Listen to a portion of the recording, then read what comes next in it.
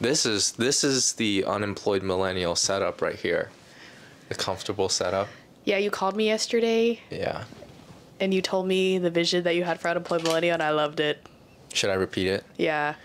I was telling Emery, well, because there's so many podcasts nowadays, and we were talking about like renting out studios and stuff like that, because you have the ability to do that. I was like, you shouldn't even do that, you know, because your vibes and like the energy that you give off is like very comfy and like I don't want to have to worry about there being lights and cameras around all the time. And like there's no better place to do it than in just like the most casual place like a like a couch or a bed. I was i was saying because of the rick rubin like as i saw a rick rubin podcast where um, i think he was doing it with lex fridman and it was like two hours into the podcast mm. he was like it was only 15 minutes ago that i realized that there were no cameras and everything that even is... even now like if i even if it's a tensy bit i feel like i have to perform yeah, I was doing a podcast with Nick yesterday and I was fully aware of the camera the whole time. Especially if it's like a new person. Yeah. Or a person you, know? you haven't seen or like talked to in a little while. Yeah. Okay, that would be building my world for you. You are our first episode. This is our second episode together. This is Ryan Ng Films. Hello, hello. And our first episode, I gen I think I get the most feedback from that where people are like, especially at really? Creator Camp, they're like they come up and they're like, that episode was so good. And it was. Really? You articulated world building like no other. I feel like when people say these things, like, I don't believe it. Yeah. But it's like they get into the specifics where I'm just like, oh, yes, you know, yeah. like the world building, especially, and like mm-hmm. the clothes and like, you know, the specific detail. Um, so yeah, Ryan is back on my Unemployed Millennial podcast. Hello. I would actually like you to be a recurring guest yeah. Oh, that was another thing that I was saying. I was like, because when I was, when I first started like kind of thinking about your podcast, just like you know, every now and then, yeah. when like you pop up in my mind, um, I was like, how is she gonna like travel from place to place and like interview new people all the time, and like do what Danny is doing, our friend Danny Miranda. And I was like, and then I realized like you don't have to do that. You could just talk about this like different topics with the same people and yeah. like in the comfort of your room or your bed or a couch and like I was even saying like hide the cameras like so the guests don't even know. And that's crazy because first of all that's been my learnings of just like even podcasting with people that I know mm-hmm. that are kind of like in the inner just like on the outskirts of the circle. Yeah. It's not as comfortable for me because I think I just like having conversations with people that I just think are interesting or already know. Mm-hmm. So I don't want to like constantly be having to like connect with like a new person. You know what way. your art is gonna be. I feel like you know what your art is gonna be is gonna be like figuring out how to like in the middle of a really awesome conversation with like this new person figure out how to craft that or how to like you know just like set up a camera and just like start talking mm. and continue that conversation i don't know you know yeah sometimes we're having really amazing conversations and ethically i'm just like i would love to record this but i'm not going yeah. to but then you gave me permission to record whatever mm-hmm. so i have random recordings of our conversations That's that are good. actually like really good for a podcast episode i'm gonna go back and like listen to them all and then bring yeah. up different points yeah and then you could probably like cut cut into them yeah Okay, so you're at a very big transition point. Yeah. Um, a lot of the themes of my podcast topics, because you even said, like, a lot of the world building that you did for me was crazy to artic- to have it articulated to me because those are like the signs that I'm getting. Like, even Jade, I met Jade for the first time, Unjaded mm-hmm. Jade, and she was like talking about, like, oh, like, how about if you didn't have cameras? Like, if you just were like yeah, talking that's what I'm saying. with audio, and you said the exact same thing, which I almost started this podcast with like only audio because I yeah. do think it is like you're just being perceived like it just changes the dynamic but we're both like youtubers and we still feel that way you know mm-hmm. so we have been talking a lot about feminine energy and mm-hmm. did did we all talk about it for the first time when we went to your house like me you and chris was that the first I time i think that was when it was like very or like that we kind of saw that we related in that sense yeah you know Because every single time I talk to you on the phone, Yeah, it was. It was. Yeah. Because we were talking to Chris, yeah, and then Chris was like, "I feel like I have masculine energy," and, then, and then I was like, "I was like, I feel like I have feminine energy," and you're like, "Yeah, I see that." I'm like, that's why we get along so well. I think. Yeah, yeah. But I think first of all, I admire the self awareness, and also I think there's such a taboo of like femininity, masculinity, and like if you're a man, you want to be masculine, and if you're like a woman, you want to be feminine. Where in reality, like everyone has both, and I feel like you just like own that you have like feminine energy and you relate to it. Yeah, I've, but it took me so long to get there, and I feel like sometimes I'm, I almost like admire. I feel I found myself admiring a lot of like. Um, like f- females that like embrace it so well, and I'm like I'm not there yet. Or like you feminine know? energy. Yeah, I'm like I'm not there yet. I, I need to like learn. Even like okay, you when you told me about Jade, I was like, okay, who is this person? And I started looking at Jade, and and I'm like, I'm not there yet, but like that, she was able to build a world around that energy. Hmm. Do you think she embodies feminine energy? As I well? don't know. I don't know, but like at least that's the the, the vibes that I get. Like what we're talking about, unjaded Jade. I just met her for the first time, and And I, I keep them. I only watch like yeah. one reel and like and like scroll through her YouTube channel. Well, I think you have a really unique talent to look at someone and then see the world that they're trying to build. Like, do you have that Ye- vision for her, or like, what did you see? I mean, kind of. But Let's get a peek also into like your brain. also like I don't want it to Yeah, be like I have wrong. like Yeah. superpowers and like I can you know what I mean like I think it's just a very strong intuition, maybe. Yeah. But it is honestly impressive because I can't really. I don't want to talk. Oh, you should meet him, by the way, too. Okay. But I don't usually want to talk to people, or like I don't usually feel like I need to talk to people about like my channel because I'm just like, Mm-hmm. you don't get it, but you do. yeah. Um, I don't know. I I I thought I realized that it was kind of like dangerous to. I mean, I I appreciate that people like see that in me of like I can see other people's world where I could see through the you know like judging the book by its cover and I could see through it but obviously like I, I don't think any human can Yeah. like see someone real and YouTube videos and go like I know who you're gonna be Yeah. you know Yeah. I feel like I have to get to know her, but I, I was saying like when I did scroll through, like I I don't I don't know I I was just it was like I respect those people because I want to have that confidence, but, like I mm-hmm. want to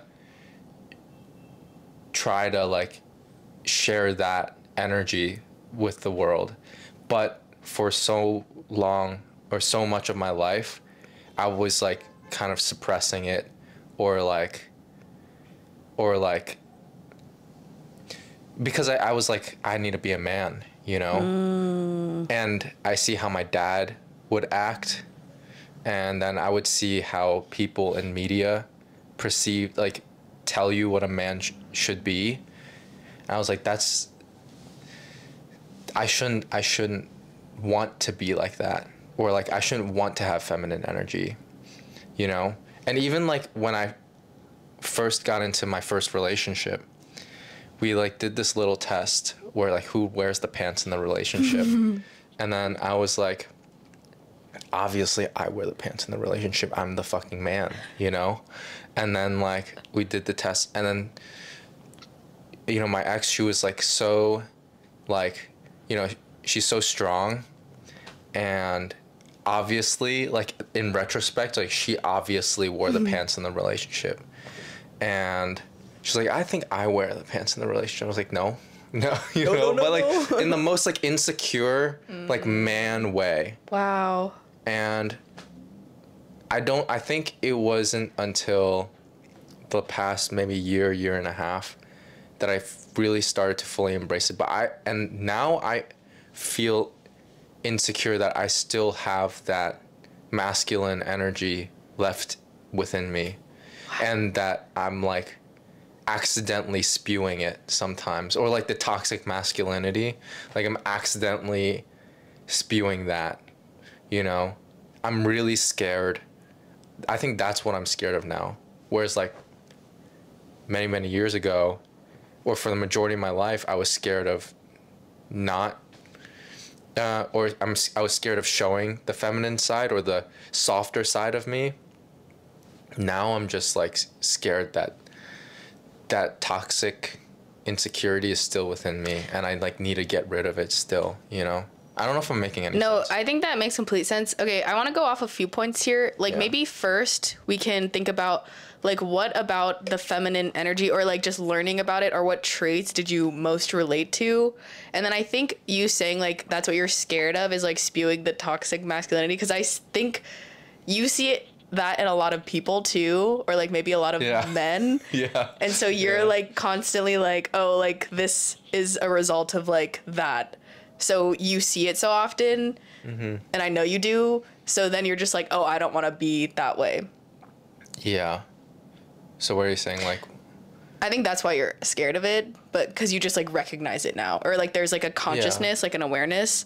But okay, so going back, I was gonna say, Yeah. like, I'm scared of that, and like I admire the other thing, which which is like, I admire the other thing, which is like, we were just listening to the Beyonce song, or like, I don't know Which song? uh, um, "Be Alive," or like, I'm gonna I'm just gonna use Jade as an example. Yeah, go for it. I, but I don't even know. I'm making this assumption. yeah, So I literally want just told to him he should meet Jade. So that's like Yeah. the basis of their relationship, and I, I met her want for the people first to know that I'm just making an assumption yeah, here. yeah, yeah. But like, I like try not to be that ma- toxic masculinity, but and I, I admire that the that strength, and like I want to be that, but I feel like I'm not. I'm not there. So How so? I don't know.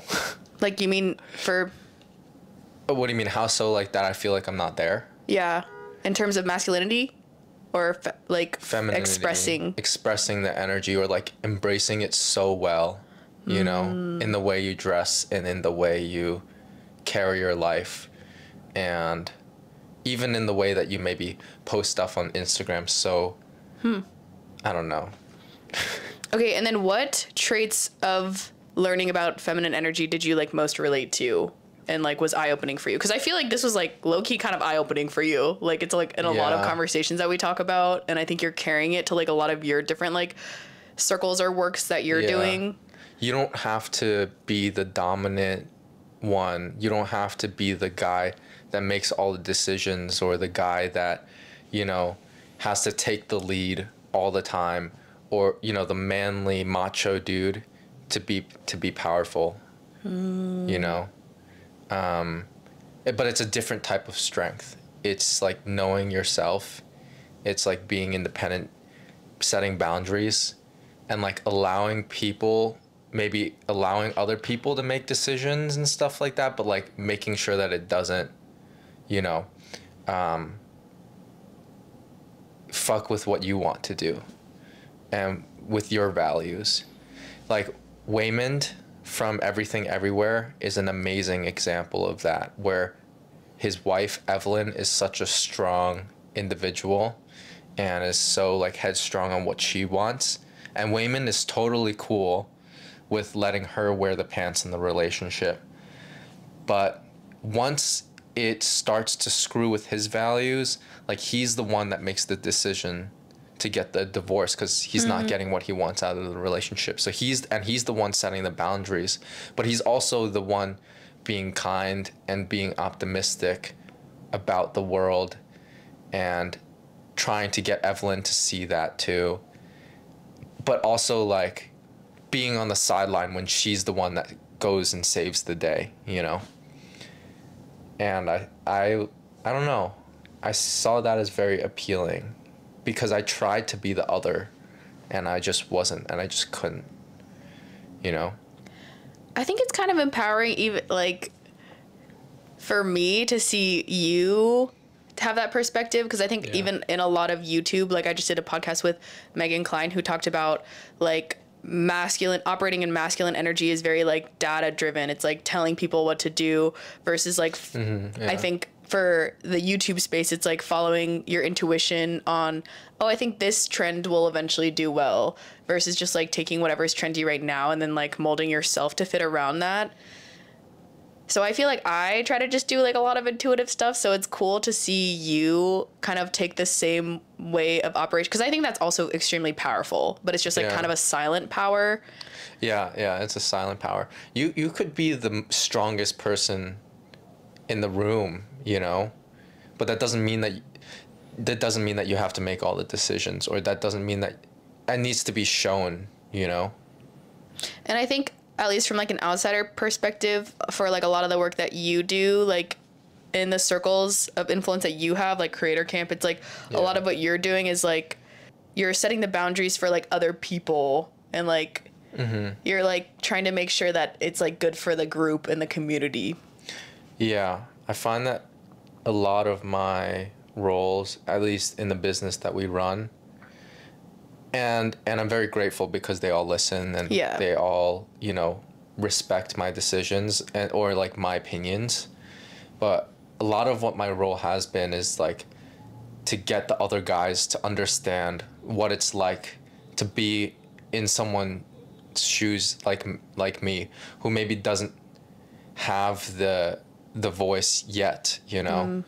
Um, but you know especially like when you're running a business and everything's so exciting and fun and, And like fast. fast you tend to like you're like a bull like running straight towards your target but you can like knock down people along the way and with no like ill intention like you're just doing it because it's fun and it's exciting and you want to help people but you don't realize that you're knocking other people over while you're reaching that goal and to like kind of get them to understand that and be aware of it and be cautious of it um, that's kind of like a role of like uh, i don't know like a my type of personality i think that's where i fit really well in Be- business at least you know You make like really beautiful analogies. One time I was talking to Chris and he was like, because he's very sensitive and like I'm a sensitive Oh. person.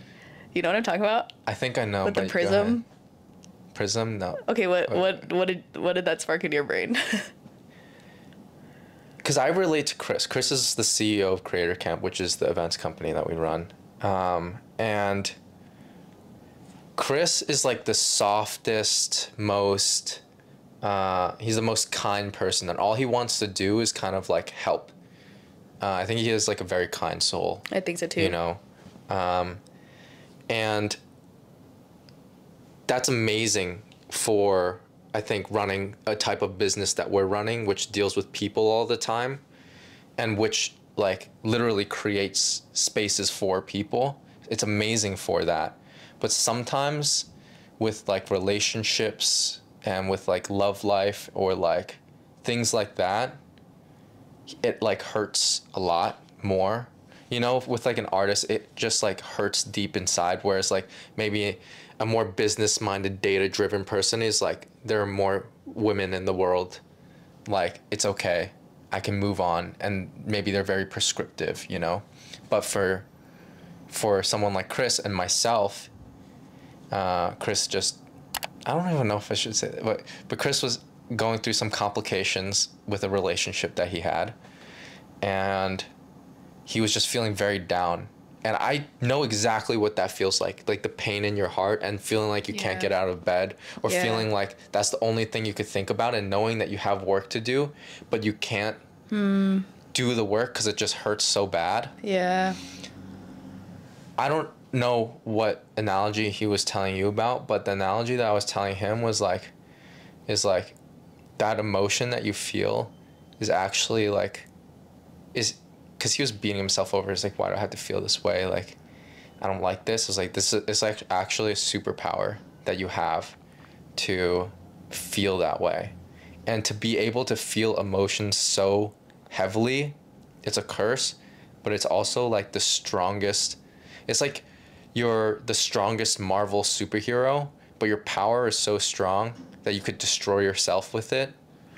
So you need to learn how to control that because you're one of the most powerful people in the world because you can feel these emotions. But if you don't have control over that, if you don't set boundaries with yourself, hmm. you're going to destroy yourself and everything around you But if you can control it and put that energy, maybe not towards a toxic relationship, but towards like a like a community, towards a community or towards a mission or towards art uh, or business, like you can, you're the one that's going to change the world, you know?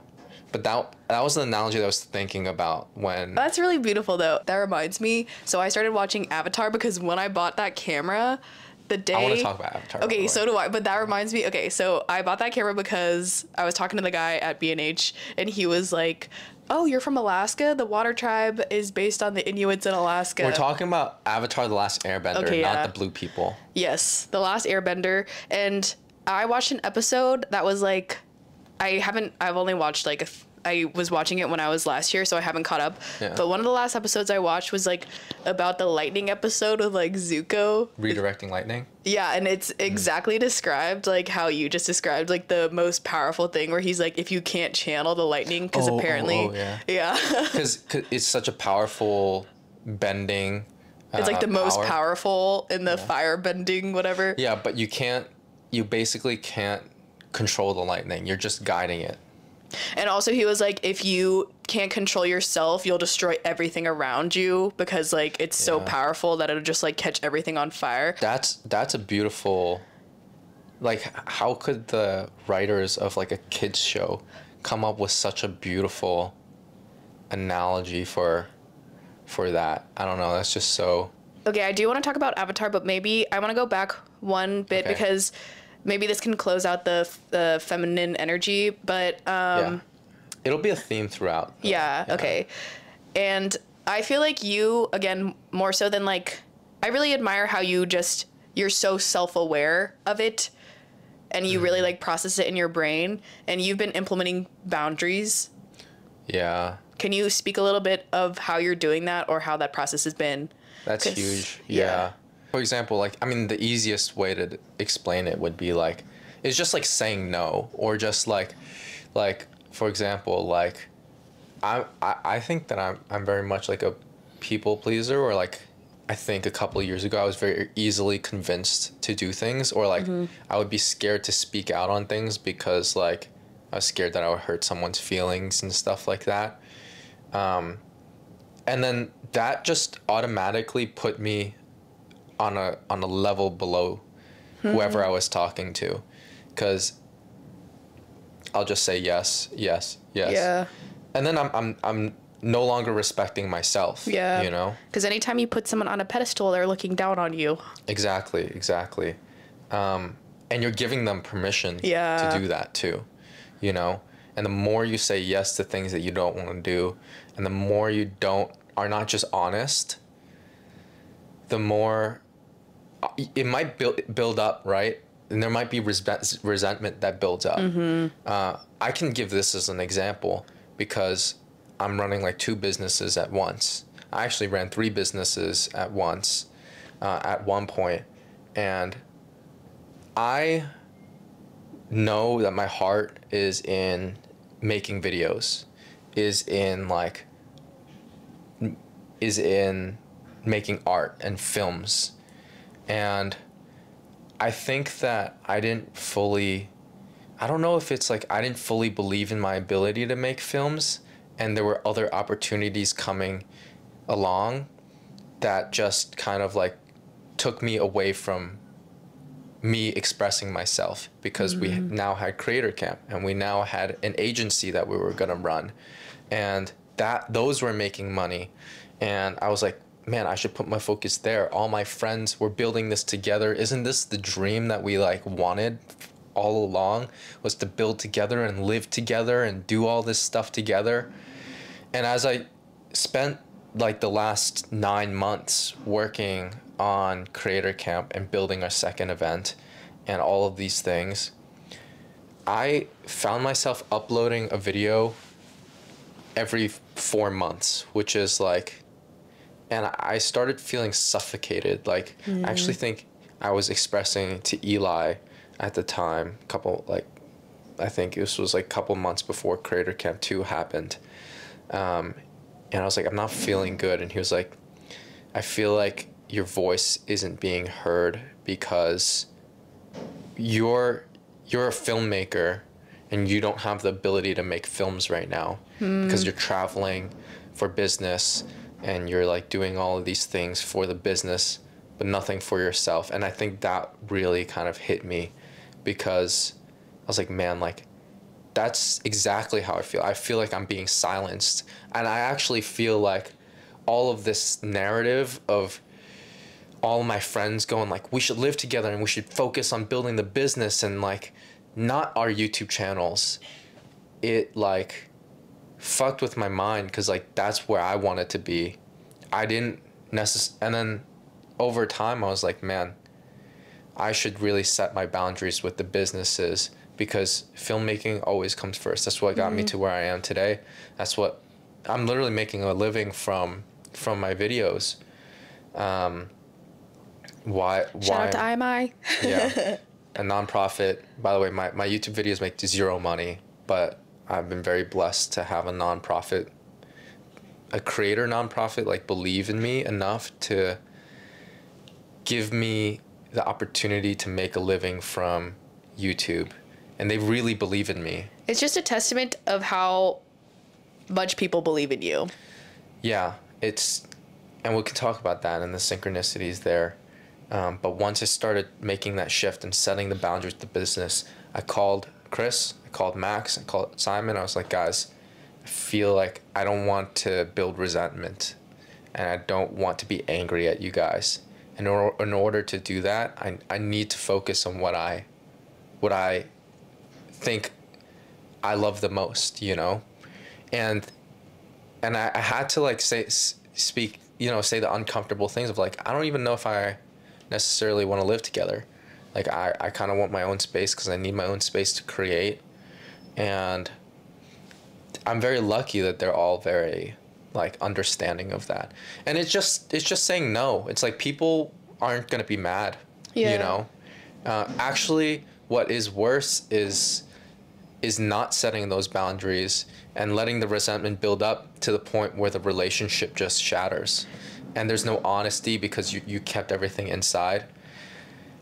And once you, I think, once you realize that there's a problem, like it's on, and and it sucks because you're the person that was being pushed around, and mm-hmm. you could mm-hmm. feel bad about yourself, and you sh- like, you should give yourself some grace because like, yeah, you were the one working your ass off and being kind of pushed around, and not appreciated. But, yeah, not appreciated and that really fucking sucks.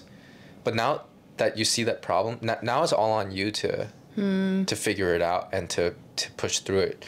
no one else is gonna figure it out for you, and it sucks. Like that's because you just want to feel sorry for yourself and like and and like it does fuck it does fucking suck, you know, because you you feel like you should get an apology or you feel like you should um, you know others should help you out now. Mm.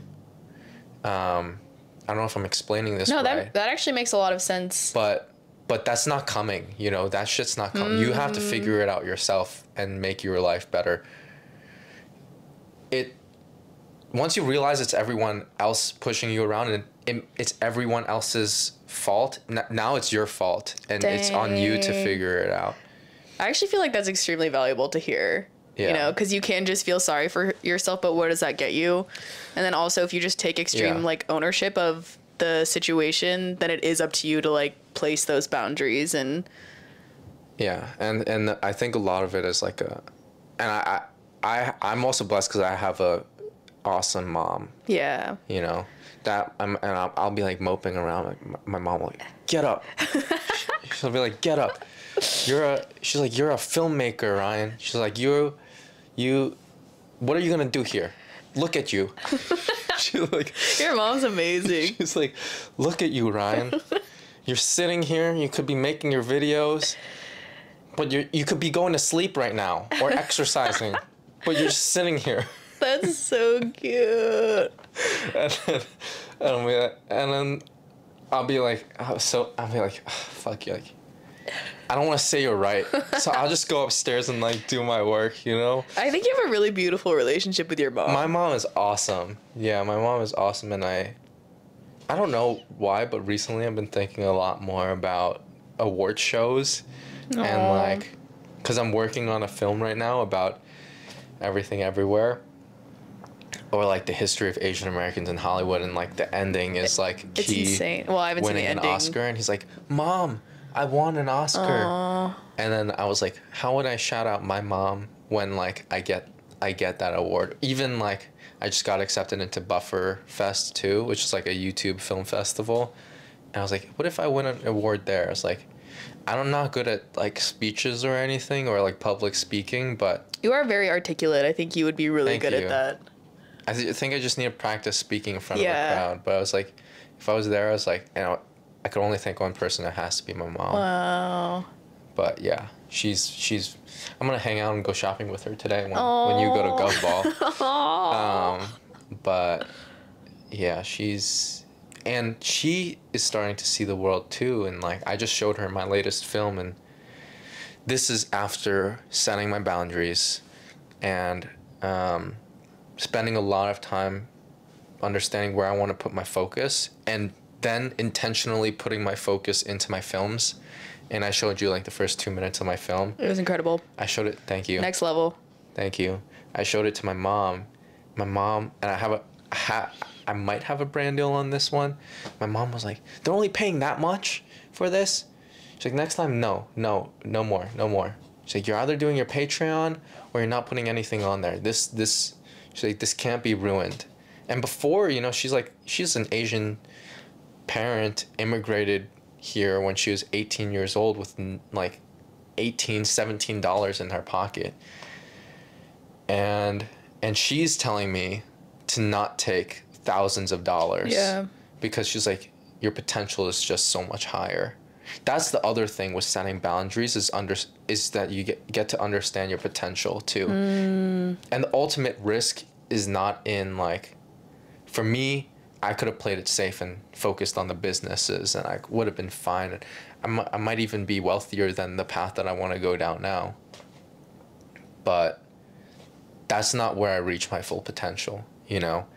And I see it in filmmaking.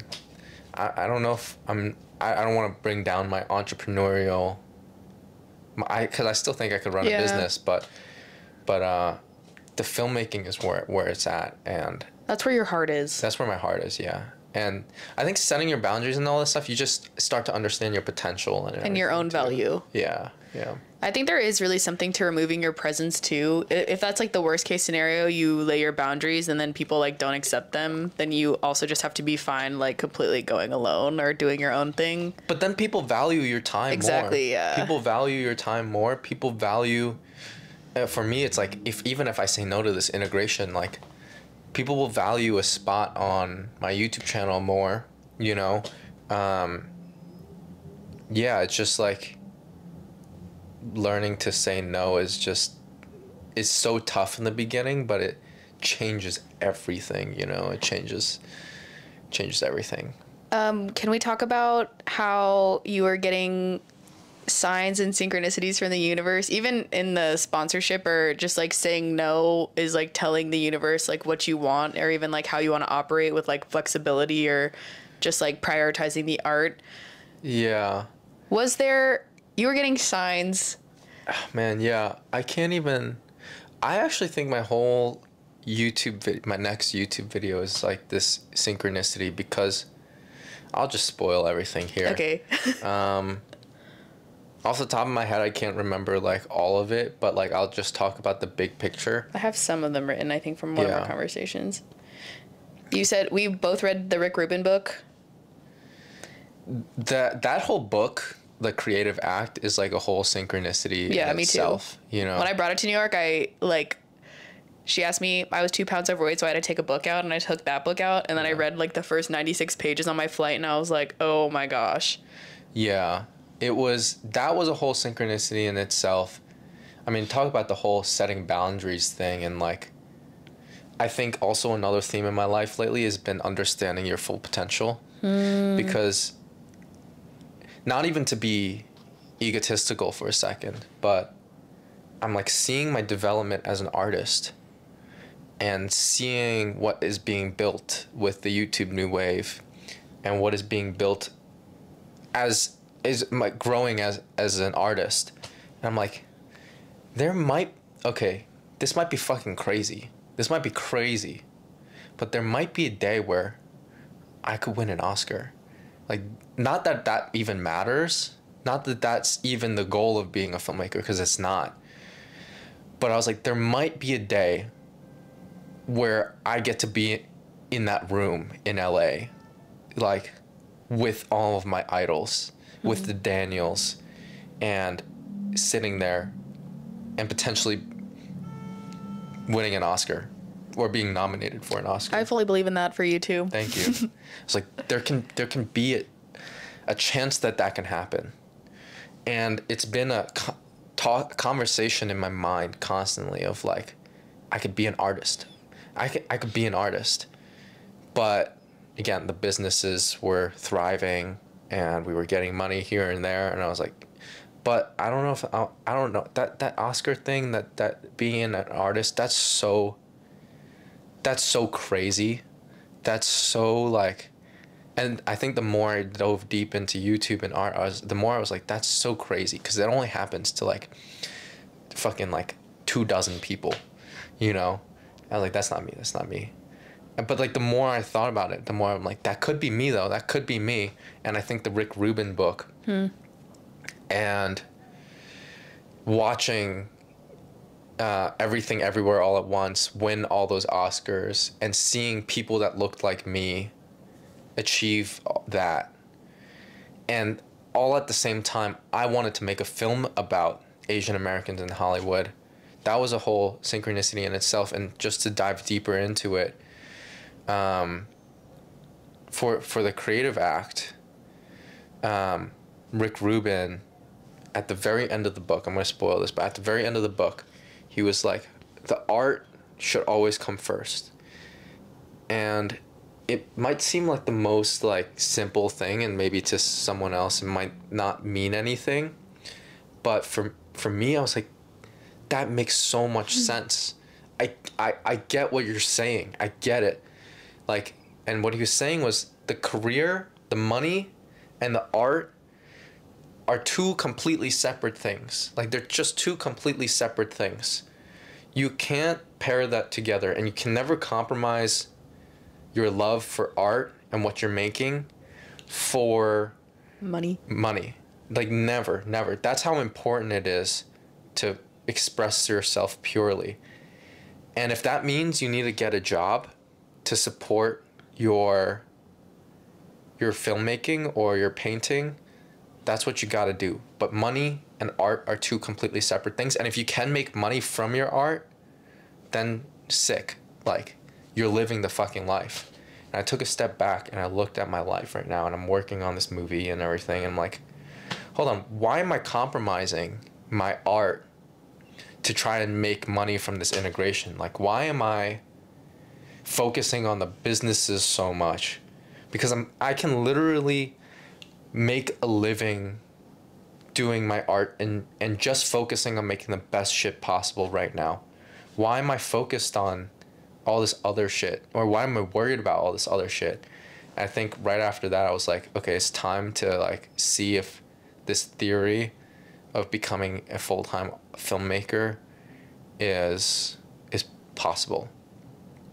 Have you had um, moments where like your the money has compromised your art? Um, no. Interesting enough, like no. Because we're in such a lucky period of time right now where what do you mean in terms of money? Oh, are you saying cuz a lack of money or like or like you're prioritizing the money over the oh art? for sure my last video uh, i rushed it because i didn't wanted to get a storyblocks integration out and it was pretty good but i was bummed with the ending because i could have spent more time on the ending and my manager was like you should be uploading this you should be uploading this. I was like okay okay okay. And then it was compromised and i can't watch that video because i don't mm, like it. Mm, because of the because of the ending. Yeah. Because I, I didn't put enough effort and and and then people are telling me like no one's gonna realize no one's gonna realize i'm like i realize Yeah. it like and i knew it could have been better Yeah. like i knew for a fact that this could have been better and i didn't make it better It is interesting because like there are definitely two sides that you could take. It's like sometimes like sponsorships allows me to like create a video that I wouldn't have done before. So then it kind of like lays a framework for just like a different type of video. For And then. I'm grateful for it. It has to be the right sponsor Yeah. yeah But then yeah, also like sometimes it kind of just like if you have like a really cool idea and then you just like put a sponsor in the middle of it and it's like something that you see is like really representative of like your brain and crafting like this message that you wanted to get across and then there's just like this ad in the middle of it that's going to be there and a part of that story forever. It's just kind of like hmm.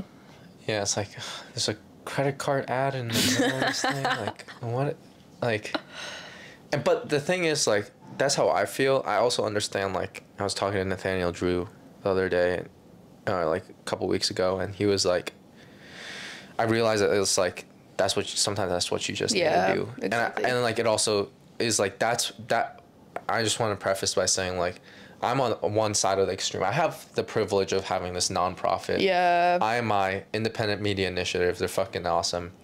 Um, I have the blessing of them. Yeah. You know, Like they're um, giving you that ability to focus on the art so over I, I don't money. have to. They want me to Yeah. do that and nothing else. And I like if that's not the universe telling me to, if that's not the universe telling me to to go down this path, I don't I don't know what is. You know. Yeah. So, for me, personally, I'm taking that route of pure artist, trying it, you know, only working with the sponsors that care about me and like understand my craft and that match my brand and things that I'm actually using. And then like, other than that, like I'm not, I'm not gonna try to sell my soul because my my art is too important. Um, and it might be an egotistical thing, it's very self-centered thing, but I don't know. That's that's all of YouTube too, you know. That's true. So Tyler, the creator, Rap Caviar. What did you learn oh from that? yes. Um, by the way, I'm gonna I wanna I wanna talk about an analogy that I use that helped me understand what art is so well, so fucking well. I, f- I need to say this, um, and I'm probably gonna make a video on it. Um, but yeah, uh, I was just like working on my video, uh, making dinner, and I was like, like to listen to podcasts or like listen to music, but I was like, maybe I should do something different this time. And I remembered that we had wanted, as a group of friends, we had wanted to watch this uh, documentary about Tyler the Creator on this show on Hulu called Rap Caviar. And I love Tyler, so I was just totally down to listen to whatever it was. And this, again, this goes back to the whole boundary setting thing. Um, he had done the exact he had gone through the exact same things that I was go I'm going through right now when he was making um, Flower Boy, which is the album that got him to this artistic superstardom that he is at right now. And the whole documentary is about his journey from being this people seeing him as this like immature, silly rapper who was more of a spectacle comedy guy than an actual good producer and rapper. And long story short, like he was talking about how during his um, earlier albums, he was also doing TV shows and stuff like that. Like and he was MTV or doing, Yeah, he was doing other things that was making him money, and that was building his brand. And people would go up to him on the streets. It's like, I loved you on that show. You're so funny. You're so funny. It's like, damn. Nobody, nobody sees me For my art. for my art. Nobody sees me for the thing I care about the most. And he was like, never again. Never. That's never going to happen again. And he was talking to Pharrell, and Pharrell was like, make something undeniable, understand your art and why you're making every step, don't just do it for the flash flashy shit. You can make it as flashy as the flashy shit, but like make it undeniable, make it meaningful, and you will be you'll be cemented in you will get the respect that you want. And he's like, okay, no more. He dropped all of the comedy stuff. I was like, he was like, I'm not gonna be funny for like two years, and then for two years, he just locked himself in his room. Airbnb to Airbnb, understanding music composition, understanding the art of music, mm. surrounding himself around other artists that were successful, listening to things that he never ever listened to, and that's when Flower Boy came out, and then Igor, and then Call Me If You Get Lost, which just like back to back to back legendary albums, all got nominated for a Grammy, t- two won Grammys. Now he's like cemented. He he has the respect that he deserved, and it's like he saw the potential. He knew that he could be a Grammy award winning artist, but he never gave himself the permission to, to like do fully it, go in to it. fully go into it. Um, but luckily enough, he had the right people around him, and he had seen that maybe he didn't eh, set the boundaries right, or maybe he didn't.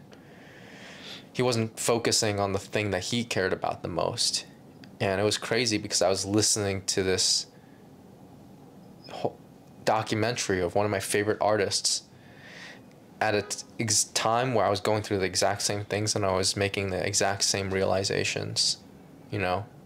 Um, so I was freaking out when I was listening to that. yeah, you were like, "This is synchronicity." Yeah, yeah, and I called you and I was like, "You got to listen to this. You yeah. got to watch this." Because I'm at the same place, kind of too, where I'm just like, "Oh, I want to explore new things, like with my podcast." But it's yeah. like what I get, like I can get sponsorships and whatever on my YouTube channel, mm-hmm. and a lot of my signs have been like you going through the exact same thing. Yeah, like yeah, you setting your boundaries, like other people like wanting to focus like even kelly stamp she's like she has a second channel now because she feels like she can speak her full like she yeah i was looking for that. I couldn't find it. It's like water what waterburger waterburger i don't know okay, what it's called. Waterburger, queen okay. or something. Because she's like found she wants to talk about like her religion. Yeah, yeah. and she doesn't want to do that on a platform that she started talking about how to grow on youtube. Mm-hmm. so it's like a lot of these signs to me are just like even if it's not the most successful thing or like the thing that's making the most money, it's like you just have to kind of. A lot of people around me are like leaping and trusting that the net will appear.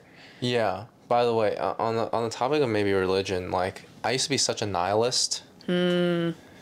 And not that I'm I'm religious now, but I'm much more open to the idea of it. Yeah. And I'm much more open to the idea of the universe just working with you, for you and you just need to trust it even if things aren't working out for you right now it's like something out there is just it's just testing you to make sure that you are you're up for the job you know and that's where I'm much more open to it now than I was two years ago when I started YouTube. When I started YouTube, I was so I was like, man, nothing matters. Like mm. I was like, this sucks. You know, life sucks. Let's talk about that because I feel like you've yeah. also made a transition and you described yourself as cynical. Mm-hmm. And then mm-hmm. recently you were telling me that you were watching the movie Taxi Driver. Oh, yeah. What did that teach you? By the way, all this media that I'm consuming right now, I'm so in love with the media that I'm consuming. I've been right loving now. hearing about it. Like you will tell me what you've learned, and I was like, I'm just like, wow.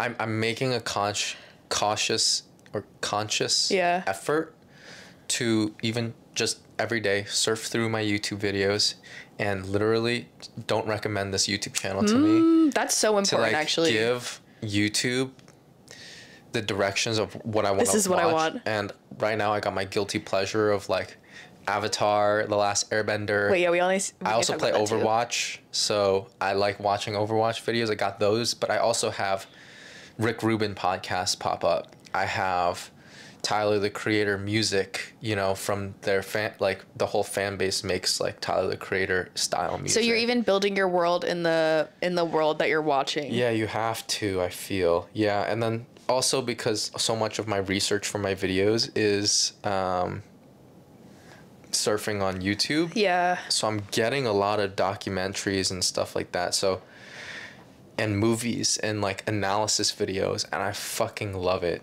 I fucking love it. So on that note of like the media that I'm consuming right now, all of it, I'm being trying to be much more intentional about Yeah. it. You know, cuz if you're not, YouTube will literally own you. Like they will own you. You you'll just be on an infinite like death scroll, Yes. you know. Uh, and I've I've been in those situations, you know. I think a lot of like even countering that because I call that like TikTok brain, even though it's like YouTube. Yeah. It's like you can become an AI person and just following and doing everything for the algorithm that is provided for you instead of being conscious. I think a an active solution is literally to like build out your own world. A- again, it's like you see the problem. Yeah. Okay, you see the problem with YouTube.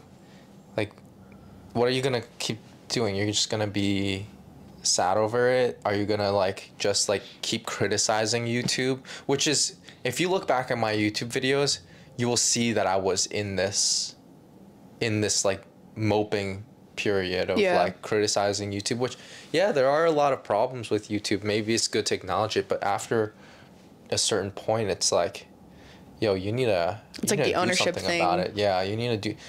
I remember getting very scared because, uh, and this will tie back to the taxi driver thing. Yeah. Um, because I'm I got really scared because I clicked on my YouTube channel, and it was all, it was it was so fucking scary, because I had gone on a binge of watching news, It's like, and it was all it wasn't even like good news about pol like about like current events and stuff like that. It was literally news of like murders Yeah. of like of like people you know killing themselves of like beatings and stuff like that. And it was it wasn't even current news. It was like stuff that happened 10 15 years ago. It's like youtube recommended Wow. this this like it was just so bad for you. Wow. it was so bad for you. And i saw myself getting deeper and deeper. I was like, like and then every time I saw it, it was like immediate reaction was don't recommend this, don't recommend this, don't recommend this. See, that's actually a really tried to good advice to actively like do that Yeah. because that's been my Twitter recently. Like I usually love Twitter, but in the last like two months, it's just become this like just the stuff I'm reading. It was actively putting. I was telling you this. It was like Yeah. kind of putting me into a depressive, like shamed mood, and so I was just like, man, I need to get off of this. it should be it should be a flex, honestly. yeah, It should be a flex to for people to show off their Instagram feeds and for it to be useful shit. and You not know? just like bikini pictures or like Yeah, yeah, yeah. I was very very thankful too cuz my my Instagram feed is either my friends yeah.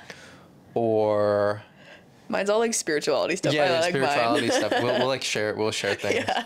Like, like my my uh, saved stuff are all like I have like Neil deGrasse Tyson talking about Mm-hmm. how, you know, um, and then I have uh, Virgil Abloh. I have you know sculptures that I liked, art that I enjoyed, Yeah. poetry. Um, and it's like, yeah, like, I mean, like the internet's not going anywhere. Yeah. The internet's only gonna consume more of your life. This is only gonna become more important. yeah, so like you, you better, better figure it out, you know. Um, but on the on the note of Taxi Driver, 'cause Yeah. this will tie all the, all back to it. I was watching one of the most famous uh, art house movies to have ever been made by Martin Scors uh, a movie called Taxi Driver by Martin Scorsese. And for those of you like people who don't know what it is, it's a it's a film about a taxi driver who In New chooses in New York City who chooses to drive um, in at night in midnight and drive people around at midnight. Um, and he's like a Vietnam War veteran. And he has like PTSD it's not it's not it's not shown but it's implied through the way that he acts that he has a lot of mental health issues and he's lonely.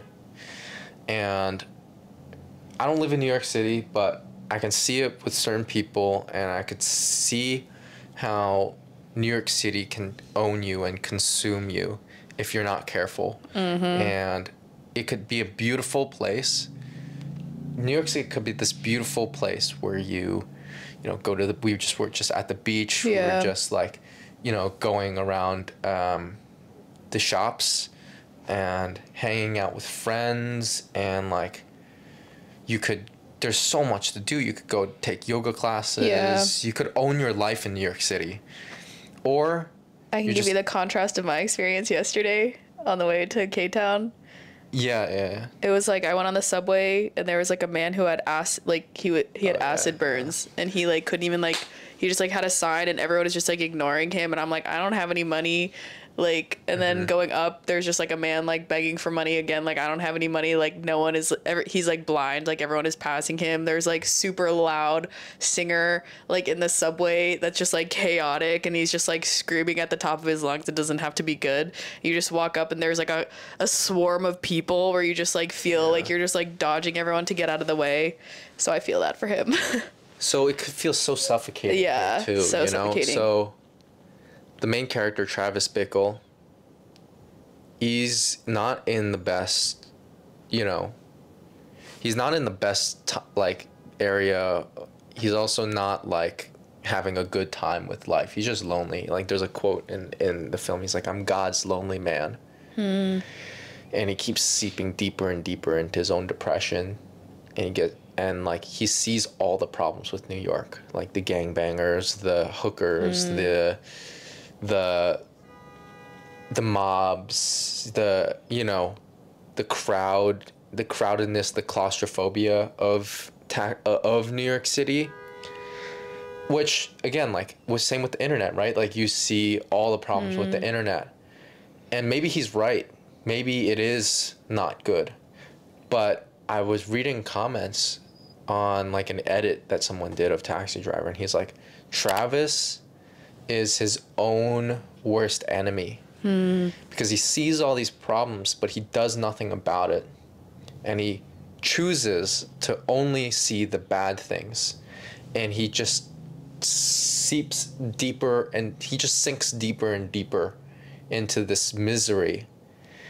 And he he's like man the world is fucked. The world is fucked. And like all the other taxi drivers try to hang out with travis and he like makes the situation awkward and like weird because he's so hateful and he's so annoyed with the world.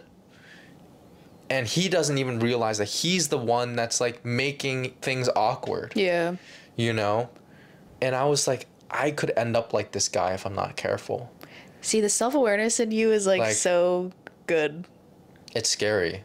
Yeah. Well I, i'm i'm blessed that I, that that I, I realize these things through the media that i consume. Yeah like through art.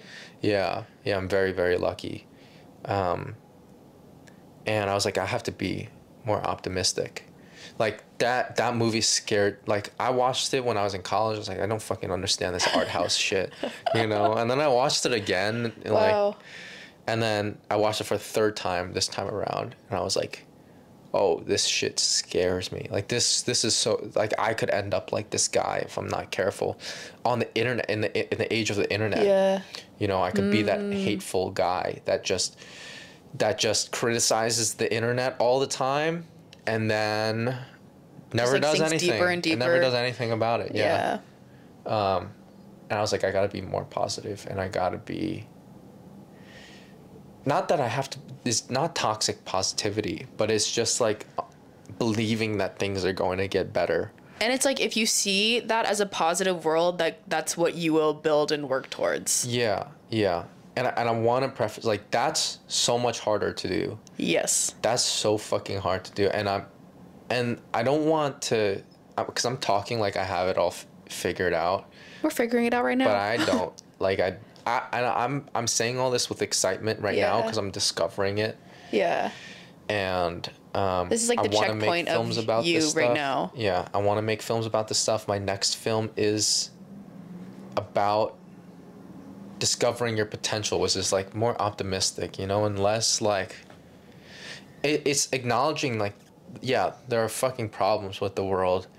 There are maybe I can't understand what you're going through and whatever, but like um, the answer isn't to to just be Wallow. sink deeper, yeah, Yeah. and like wallow in your whatever. Um, it's to move forward with optimism and kindness, which can be very hard for for uh, specific people, you know. And it's it's the battle. Um, yeah, and I'm, I'm still I still have things that I need to deal with because I think all of this optimism and all of this setting boundary stuff also comes with like building a routine, like mm. having doing things that are maybe a little bit uncomfortable. Like I'm thinking about, you know, my sister who is really having an amazing time in New York City right now, and I really admire what she's doing because she she has an internship in in New York City. You could again, you could just stay in this fucking like five by five foot room. you Yeah. Because the rooms in New York City are fucking tiny. Yeah. You could stay in this room, be a shy person, not go out, not mingle with anybody, go to work, come back, go to work, come back. But my sister, the minute she got to New York City, she dropped all her stuff, had dinner with my parents. Next day, went outside, took a stroll around New York City, looked at all the vintage stores that she could find because she mm. loves, she wants to, to start thrifting and she loves shopping. And then she looked at the gyms. She took some. Free, mm. she took two free passes from gyms. You gotta do that immediately. yeah, she was like testing out Smart the gyms, girl. and then she took two free dancing classes because she wants to learn how to do hip hop and she wants to learn dancing, and and then now her her boyfriend's here, and then they just went kayaking Oh. and and like in the Hudson River and like, that's like taking ownership your over life. your life of yeah, your wow. life That's beautiful. and and it's stuff that I realize that I have to do when I'm new, in New York City because I'm not might not, you know, you might not be around here all the time for me to hang out with. Yeah. Or like, you know, um, my friend my friends might not be around here all the time. Like, what am I want to do? And so she's got me thinking about what I want to do. I was like, maybe I want to go to art galleries. Um, maybe I should. Uh, I should do dancing classes, or I should go to a chess club or something like that. I should not be afraid to kind of Yeah. do these things. I will know? think I will say that I think it can take time cuz I it's Yeah. crazy to me cuz like this time last year, like May of last year, I was moving out of your mom's house and just like doing stuff like this where I would stay at like I would sublease my friends' places for as long as I could.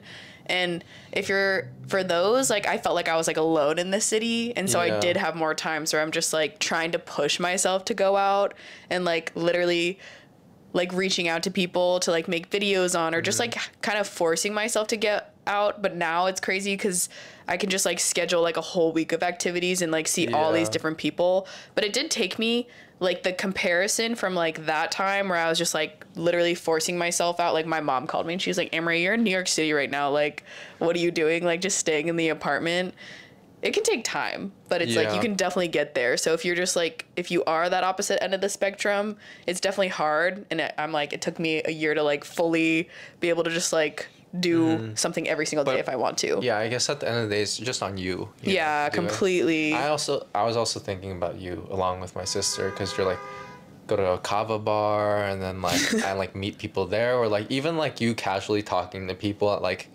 like when you're buying cannabis or like you're buying weed and stuff like that. I'm like, man, I I think and I think that's also like a feminine energy too. I don't know because a lot I know a lot of manly people are like I don't need help. That's kind of the thing I don't need to ask people to be my friend. that I think is the beauty of being independent in the city. Yeah. It's like you can actually have all these amazing connections and conversations with so many different people, but you have to be open to that too. Like you have to be in a certain vibration or a certain frequency to even do that. Cause it's like a lot of the time when people are just purchasing something, they're like, oh, this is a transaction. It's like, you are a robot to me, but it's really never the case. Like it's always like a real person that you can genuinely like connect with, and if you can, it just makes like that's the beauty of even looking for signs and synchronicities in like the universe. It, I feel like it just makes like everything Yeah. a better place Yeah. and more beautiful place. Yeah. So thinking about things more optimistically. Yeah, and I think maybe is even for answer. artists, that's hard, and it is the answer. Yeah. Yeah, For artists, completely. oh, people think it's like. Uh, I want to talk about this in this Isaiah podcast, Yeah. maybe, but like, um, like I think we're we're moving out we're moving out of a time where the conversation was just nothing matters, like, the conversation was just like, life sucks. Look at the internet. Look how it's fucking up for our kids. Look how, look how, um, you know, um, World War II happened. Like This is the metamodernism. Russia, yeah, Russia, China, like we're never gonna get better as a human, the human race. We got like the George Floyd stuff. We got COVID. Like the world's racist. Like it's like the world is fucked. Yeah. But I think we're moving out of a. I think we're moving out of the conversation of like just. The conversation ends at the world is fucked, where now it's like yeah I understand, the world is a screwed up place like I get it, but like. Let's be kind. Yeah. You know, in a world that is fucked up, let's be kind and let's figure it out together. You know, and and because nothing matters because you're on this like rock for such a small period of time and what happens after you die like maybe that doesn't matter to you but because of because nothing matters like everything actually does matter. Like every mm-hmm. second that you spend with your friends like it matters. Every second that you spend even like just strolling like taking a stroll around the park like that should be appreciated. You know the simplest things like even in like everything everywhere it's like laundries and laundry and taxes hmm. can with the person that you love hmm. can can matter and that's why I like Rick Rubin's book too. It's like the creative act. It's literally like you can your life can be art yeah if you look at it that way. it's a way of living Yeah. it's not it's not an occupation yeah, that's how I see my life. and Yeah. he made a book, and I was just like, wow, this is so beautiful. that book there's something magical about that book like there is like a i've never seen or i'm, I'm, not a reader but i've never seen a book like emit so much energy Wait, um, we should do the artist's way next. You should check it artist's out. way Yeah. okay okay You need to, because he he models it kind of after that book too. there's yeah there's something about that book it's like a now that i look at it, it's like there's energy coming out of it Yeah. Wow. you know and it's just like attaching itself to the people that are Yeah. you know Because like crazy everyone who's reading it too can is like taking stuff away from it. Yeah. Yeah. Even if you're not an artist. you Yeah. know? You, don't have to be an artist to. You don't have that. You don't have to have that as an occupation to want to at least strive to. I don't know. Live like one, or yeah. I don't know. Okay, to recap the last, I really I'm really trying to manifest a conversation with you and Steezy to talk about that would be meta modernism. So that's gonna be a sneak peek Yeah. into that, Yeah. but we'll save that Okay, in yeah, hopes we'll for that, that. conversation. Isaiah would fucking love to talk about that. Yeah, I shit. would love to talk about. I would love That to would watch you guys talk about that shit. Um, so let's go back to Avatar because you've really Oh, connected to the show. What do you, what has how did you come across it again? And like YouTube. Hmm. YouTube. because it's it keeps popping up for me in my world. Like I literally saw a guy with like an Avatar shirt, and I'm just like, oh, I need to. I keep thinking about the lightning episode because there's so much symbolism and metaphor in that, and they talk about It's a lot of beautiful. It's spirituality. so beautiful. They talk about winter solstice and like summer Yeah. solstice, and I'm I'm like usually the only person who talks about that in my friend group. So I'm just like, wow, this show. Like I really recommend it. A good show. I, I also searched it up on like Google and it has hundred percent on Rotten Tomatoes. I'm like, yeah, that that shit deserves hundred percent on Rotten Tomatoes. Wow. Like, cause I rewatched it, you know, now as a full time artist, actually, which is fucking wild to say, you know, as a full time artist, uh, and a storyteller, Yeah. watching, um, that show, I was like, how could you fit all of these complex ideas into a kid's show? It's so beautiful. And um, I think I think it's coming up more and more now. It's gotta be because you know there's more Avatar stuff coming out. Oh, it's really? The, it's the only okay. We're living in this weird age in movie making right now, where everything is kind of boring. Yeah, everything is a prequel or a sequel. Everything was is like a live action version of an popular animation in the two thousands. Like everything that is being made right now has already existed as a popular thing before, and they're just remaking it, and it's kind of boring. Avatar, The Last Airbender, is the only, and I hope that the production studios don't ruin it. But Avatar: The Last Airbender is the only show slash world that is present. I don't give a shit about Marvel. I don't give a shit about DC Universe. I don't really care about the Avatar, the blue people. But I want to see the world that they build with Avatar, with Avatar: The Last Airbender, and how they expand. What does the next Avatar look like? You know, and they, they play around with like such complex ideas like politics and like um, n- like nations which can be representative of like the country the powerful countries of today like Yeah. and how they handle situations you know and how you have to walk a fine line and like um i think that's why i like it because it's so real you know and also just on like i i also just love zuko the character because i He's can the fire prin- prince. He's the prince Okay, that yeah. got banished. Yeah, And then the became the guy. fire fire lord. I love him because he is is like me. Hmm. He was the angry guy. He was the guy that thought that he needed to be this angry, powerful firebender to restore his honor, to please his dad, and to please the Fire Nation and he goes on this journey where his dad banishes him and he has this trauma of being a part of the royal family. And you could see that he is he has this anger within him. He's like and this toxic masculinity in the first two seasons of the last airbender. And you could see how that slowly transitioned and like Iroh, Uncle Iroh, um, is like who is more of a father figure than his actual father, um, guided him and was like a son to him towards the right direction of what a firebender actually should be.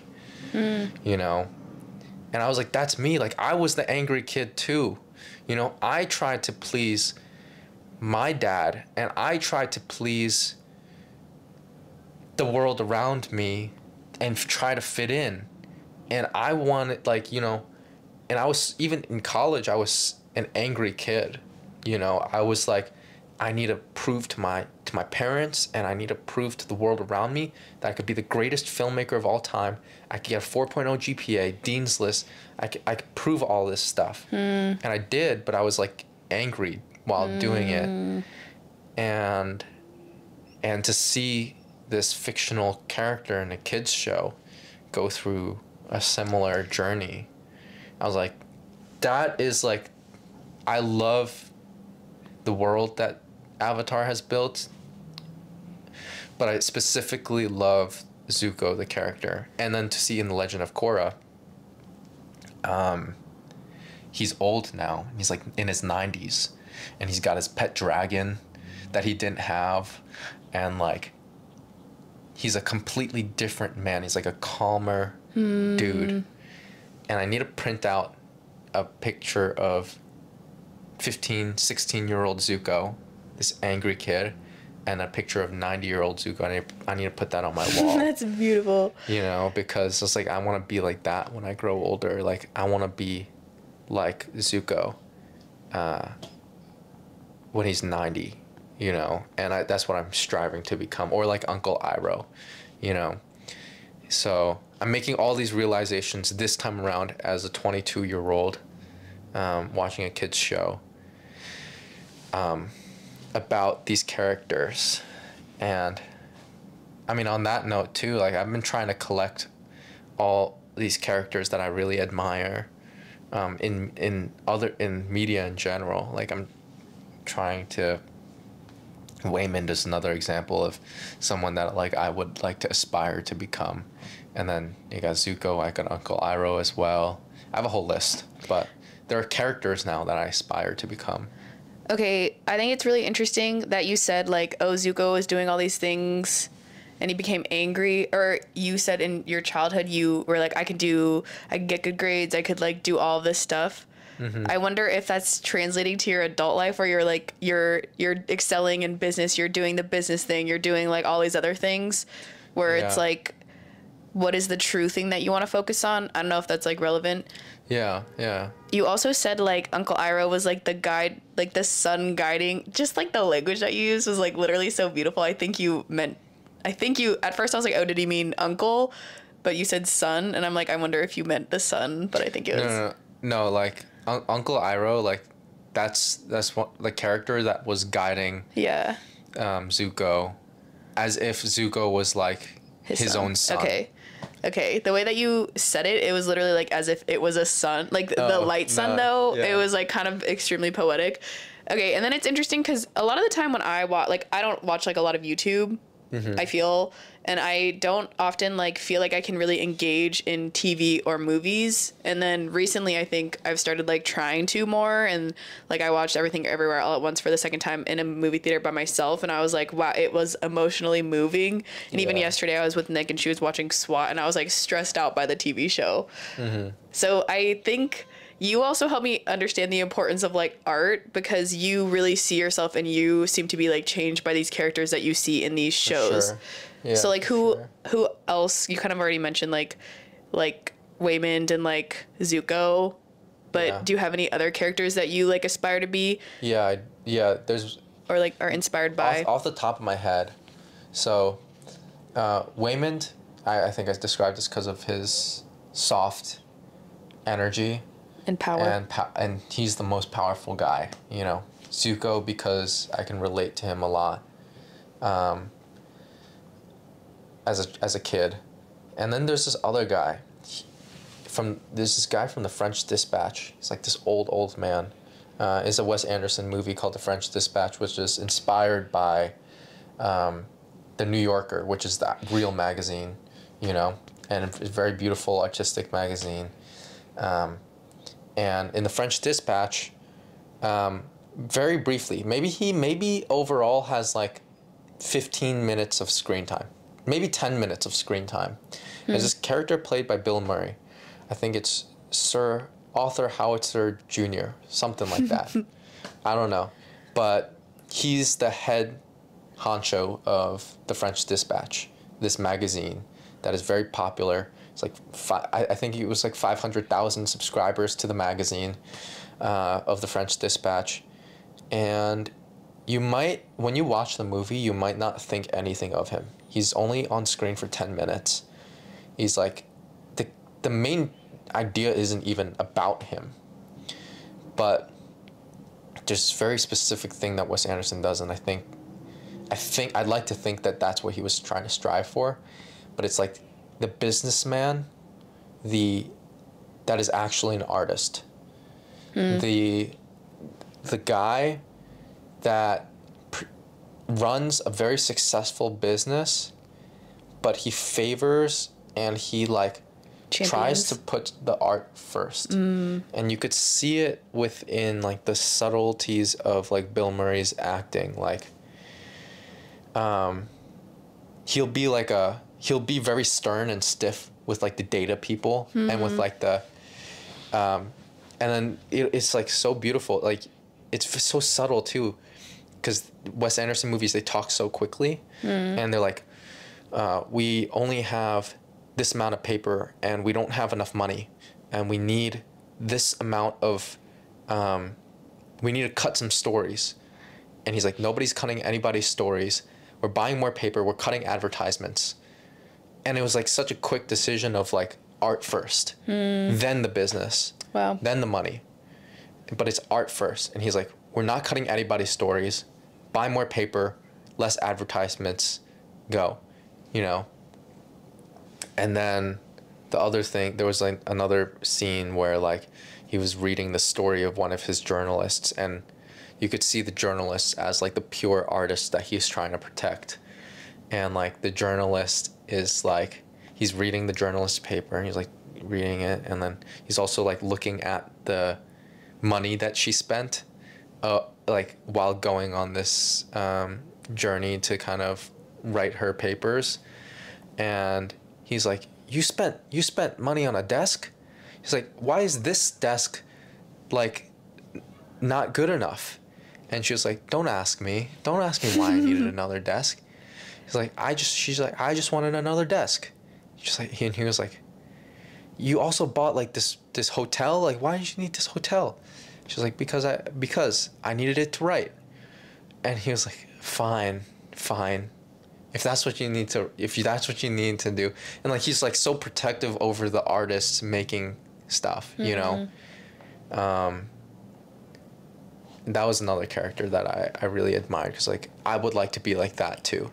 I would like to be especially in creator camp i would like to be the guy that prioritizes art in a world and that not I, I feel like because there's also like some sort of savior maybe complex there which i would i mean like i i don't want that to be the case but like i want to be that guy that like looks out for the artists you know and like make sure that the businessmen like they don't man- try to manipulate them you know? Um, and make sure that they, they people have a safe space to create. And it's al- also for myself too you know mm-hmm. because i'm an artist as well like those people you know like isaiah you know tanner cameron aaron Yeah. those are my people you know and so sir arthur howitzer jr i believe is his name. That was another character that i have print that i need to print out and put on my wall as well And you mentioned that you want to be that person even on YouTube for other people to see. Yeah, and I, I don't. It's not even that like I wanted to. It's just like that's how, how it ended up to be. That's just how I. th- That's just how it came to be, you know, and it's funny because like I've always wanted to be a teacher or a professor Mm, Professor of Ang. some sorts.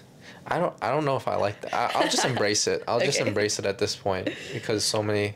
It's just a joke that, you know. People call me professor. Um, but I would like to. That's what I would like to do in the future. You know, maybe when I'm done with this filmmaking stuff, like teach at a university or something, or yeah, like I at could a totally see school that. You know or like be that person for the kids that maybe need it you know because you know in college is such a transitional period in your life and you're still very vulnerable you know or even being a high school teacher i don't know I But, still, um, yeah, me substitute teaching, I'm just like, I need to do this again. Like, I need to do this the next school year. yeah so it's like so fucking cool and um, that's what i would like to do in the future and i guess i'm blessed enough to have found it and to do it now too because like that's just kind of where the universe has guided me towards Yeah. you know it's like i can i'm making art but i'm making it in such a way where i'm still teaching people things like very directly teaching Yeah. people things because i'm implementing things that i've seen in my favorite movies techniques that i've seen in my favorite movies and i'm creating it i like to think that i'm creating it in an artistic way but also um, it is also an educational tool. It is not only a is not only um, an art, art piece, but it also teaches you something. Vice versa, you know, it's not just an educational piece. It's a it's a piece of art where if you re, you could rewatch it two three times and see the subtleties and like see the filmmaking techniques and use it yourself. You know. Um, so it's an interesting thing that I'm still figuring out, but that's where like my YouTube channel to take my YouTube channel is maybe to show people a more artistic approach to the creator industry where you don't have to where you don't have to you know uh, sell your soul or try and play the YouTube algorithm and worry about watch time and click through rate in order to succeed. You don't because you don't have to. You literally yeah. don't have to think about those things to succeed. Um, but that's all the narrative is right now on YouTube. That's all it is. You know, they've done and like people like Colin and Samir and like Mr. Beast. They have done a great job of covering that area of the creator industry. Mm-hmm. But that's the only conversation being had right now, and I'd like to start a new one. I have, okay. Well, maybe let's go to New Wave and see if there are any new developments since the last time we spoke on that. Yeah. I am just worried that it's gonna people are gonna turn it into a business or people are gonna mm. turn it into because it, it I'm starting to see its success. There's like people like there's like a thousand videos on the new wave. Wow, uh, that is a wave. wave. which is f- fucking. That's wild. crazy. I didn't know that. Um, there's like a thousand people on the new wave, and um, you know people are putting the new wave in the front of their videos or putting the hashtag in their videos, and it's really awesome. But I'm worried that it's the whole point of it was to encourage people to find their own path. But I'm worried that it's just gonna be another genre on mm. YouTube. Now you're just like Mr. Beast. Now you are just like. It is not the new wave. It is a coming of age genre. Hmm. Because the majority of the creators in the new wave right now, they they're making like documentaries and vlogs about their life. You know, um, and that's awesome. But that's not what I meant by the new wave. yeah. That's so what did not, you mean by the new wave? Because that's the be yourself, build yeah. your world, figure it out yourself. You can make a living on YouTube, or you can make art on YouTube that is not driven by the analytics, or driven by a genre. You know, because right now it's not even click through rate and watch time at this point. It's like, well, you got to find your niche.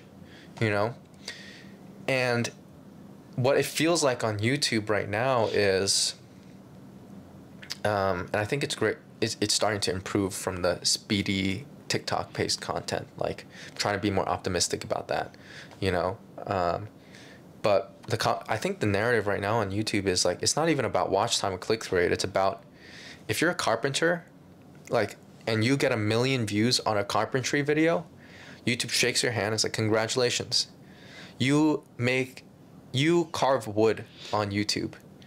You make beautiful furniture using wood on YouTube. And the minute that you talk about your wife, I'm gonna I'm gonna take that away from you. You know, I'm gonna yeah. take the views and your living away from you now because you're talking about your wife. I didn't hire you to talk about your wife. I I put you in the algorithm so that you could carve wood, you know.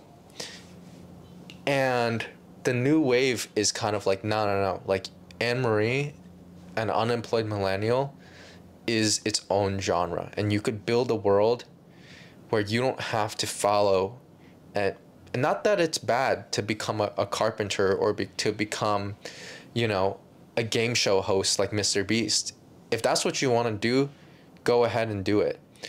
But if what you wanted to do was build a personality on YouTube, if what you wanted to do was tell personal stories and make art on YouTube, like you need to do it on your own terms, which means that you can't look at the numbers, which means that you can't look at the click through rate. You should be making the thumbnails that you enjoy. You should be having the conversations that mean the most to you. And through that, and through mm-hmm. understanding mm-hmm. yourself over the course of like two to three years, then you get to a place where you can potentially make a living from just being you. That I think was what I meant in terms of new wave for YouTube. Yeah, I love I right? love that. I did not mean that you should film your life and be a coming of age vlog YouTuber. But it seems like and if Colin and Samir ever watch this or whatever, like that's not what the new wave is. Because mm-hmm. I know that's that that's the conversation that's being pushed around is like people filming things about their life, being sad, and then being happy. and then like and then and like then a deep convo. and then like uh, you know I'm dropping out of school or like I'm going on an adventure. That's just another genre. That's just a that's the coming of age genre. We awesome. We create created a genre. But that's not why that's at least for me, that's not why I wanted to make that's not why I started the YouTube New Wave. So where I'm at with that is I'm just worried that people think that it's a genre and are starting to box it in, which is not what I wanted it to be. This is where I think you need to like you need to cuz you see the world for this more than I think anyone and I love this world that you're building, but I have also seen that kind of like I think people You you know what I'm talking I know about, I know right? exactly what you're talking about but I think this is where you need to like come on or like speak about it in podcasts or like you need yeah. to define it how you see it. And then if that fits, if the people making in the wave like are making that type of content, then they can like they can be a part of it. But I think it's like kind of defining the boundaries of like what you see it as cuz I think you're building like that is a beautiful description to me. Yeah, yeah. It's a new way of making videos. Yeah. It's like a new form of making videos that is not driven by an algorithm. And as soon as it becomes like a category, or, yeah. yeah. it's just like you're kind of doing the, the exact same you're, thing. You're playing the game yeah. now. It's yeah. not that. That's not why I wanted to do it. You know, it's yeah, like, that makes so much sense. The Emery videos, if if it's just if that's what you want it to be, if you what you want it to be is an Anne Marie video, or an Anne Marie podcast, then it then it should not try and be like you know Joe Rogan's thing or yeah. like I think that's what I was trying to say with the new yeah. wave, and and like. I think even that is a very he- helpful differentiator. Yeah. Because I, when you describe it, I'm like, oh yes, I love this, and then it does kind of get muddled and confusing when you see like the actual videos. Like if you try to do research, you're like, okay, so what is it exactly? Yeah. Yeah. Yeah. It, and then like, it also goes layers deeper because past that, I, I also think that YouTube is bringing a whole new way of creating mm. to filmmaking, right? Where you can use your iPhone and where you could use your photo booth camera on your laptop and you could like you know um, use things in your home like rearrange furniture in your room to like you know uh, make some cool shit you know i also think that's the new wave mm. um, i also think that like vlogging as an art form can be the new wave, but like that that's ten like that's like five years from now. Yeah. You know, right now it's like it's like let's try and be ourselves. Yeah. Know? I love that. Um, my last last podcast with was with Megan Klein, and we talked a lot about feminine energy, and she yeah. related it a lot to business, and then I appreciated that she related it to creating too, mm-hmm. and she mm-hmm. said like a lot of the last few years have been we've been operating in a very masculine era. Yeah. Like she gave the example of like the pandemic. It's like they were using data, they were telling you what to do, and she believes, or her astrologer believes, that we are entering the age of like divine feminine, which is actually kind of exactly what you described the new wave to be. It's like using your own intuition, ignoring the metrics and the data and the algorithm, and just fully leaning into like what you believe or what you think is interesting and what yeah. you want to portray that kind of is the uh, feminine ascension, I guess. I think so, yeah, and it's it's exciting, you know. And at this point in my career, I've been making YouTube videos for three years now. I'm I'm at a point where I'm just like fuck it, like. I my last magic trick, I've tried everything. Like it, and and I'm not saying this. I like to think that I'm not saying this with an ignorant mindset, I've tried the analytics route. Yeah. I've gone viral with the analytics route. I've spoken to so many people about this thing. It's my life. Like yeah. I I like wake up, I think about it. I eat it, you know, like I like it's my it's my fucking life. So and and at this point in my life, it's like I've reached my last magic trick. The last magic trick that I can learn, which is, I'm gonna wait for that to, to go. The last magic trick in my life, which is to be myself. That's hmm. that's it. Like that's all I got. Wow. You know, is to be myself, to set my boundaries. I know my potential, and I've also accepted that in the most optimistic way possible, that it might not work out, and I might Yeah. need to get a job, Yeah. and uh, that's that's okay. And I feel like that's also just meeting exactly where you are and where you need to be. Yeah.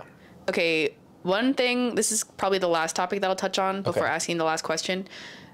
At Creator Camp, we all did a, um, what's it called? Stand up Oh, improv. improv. yeah. and one of the improv activities was yes and. And you said that you were using that for your method of creation and then you shared that with me and then I think it's really helpful for maybe overthinkers or artists. Yeah. Can you talk about how you did that? The ambiance of New York, Brooklyn. Yeah. And can you I'm sure it's also carried into other avenues of your life. I think it's also just kind of like a more optimistic way of creating. It's just like get up and go, you know, like yeah. So I, I actually realized that there might there might also be flaws to the yes and Okay. thing too. Talk to me. But um, the Rick Rubin book solved it for me, Okay. which Walk me through sick, that development. Which is fucking like the, the best thing ever. You know, The universe is I providing. like because I like found that, and then I found this thing, and then now I got to this thing.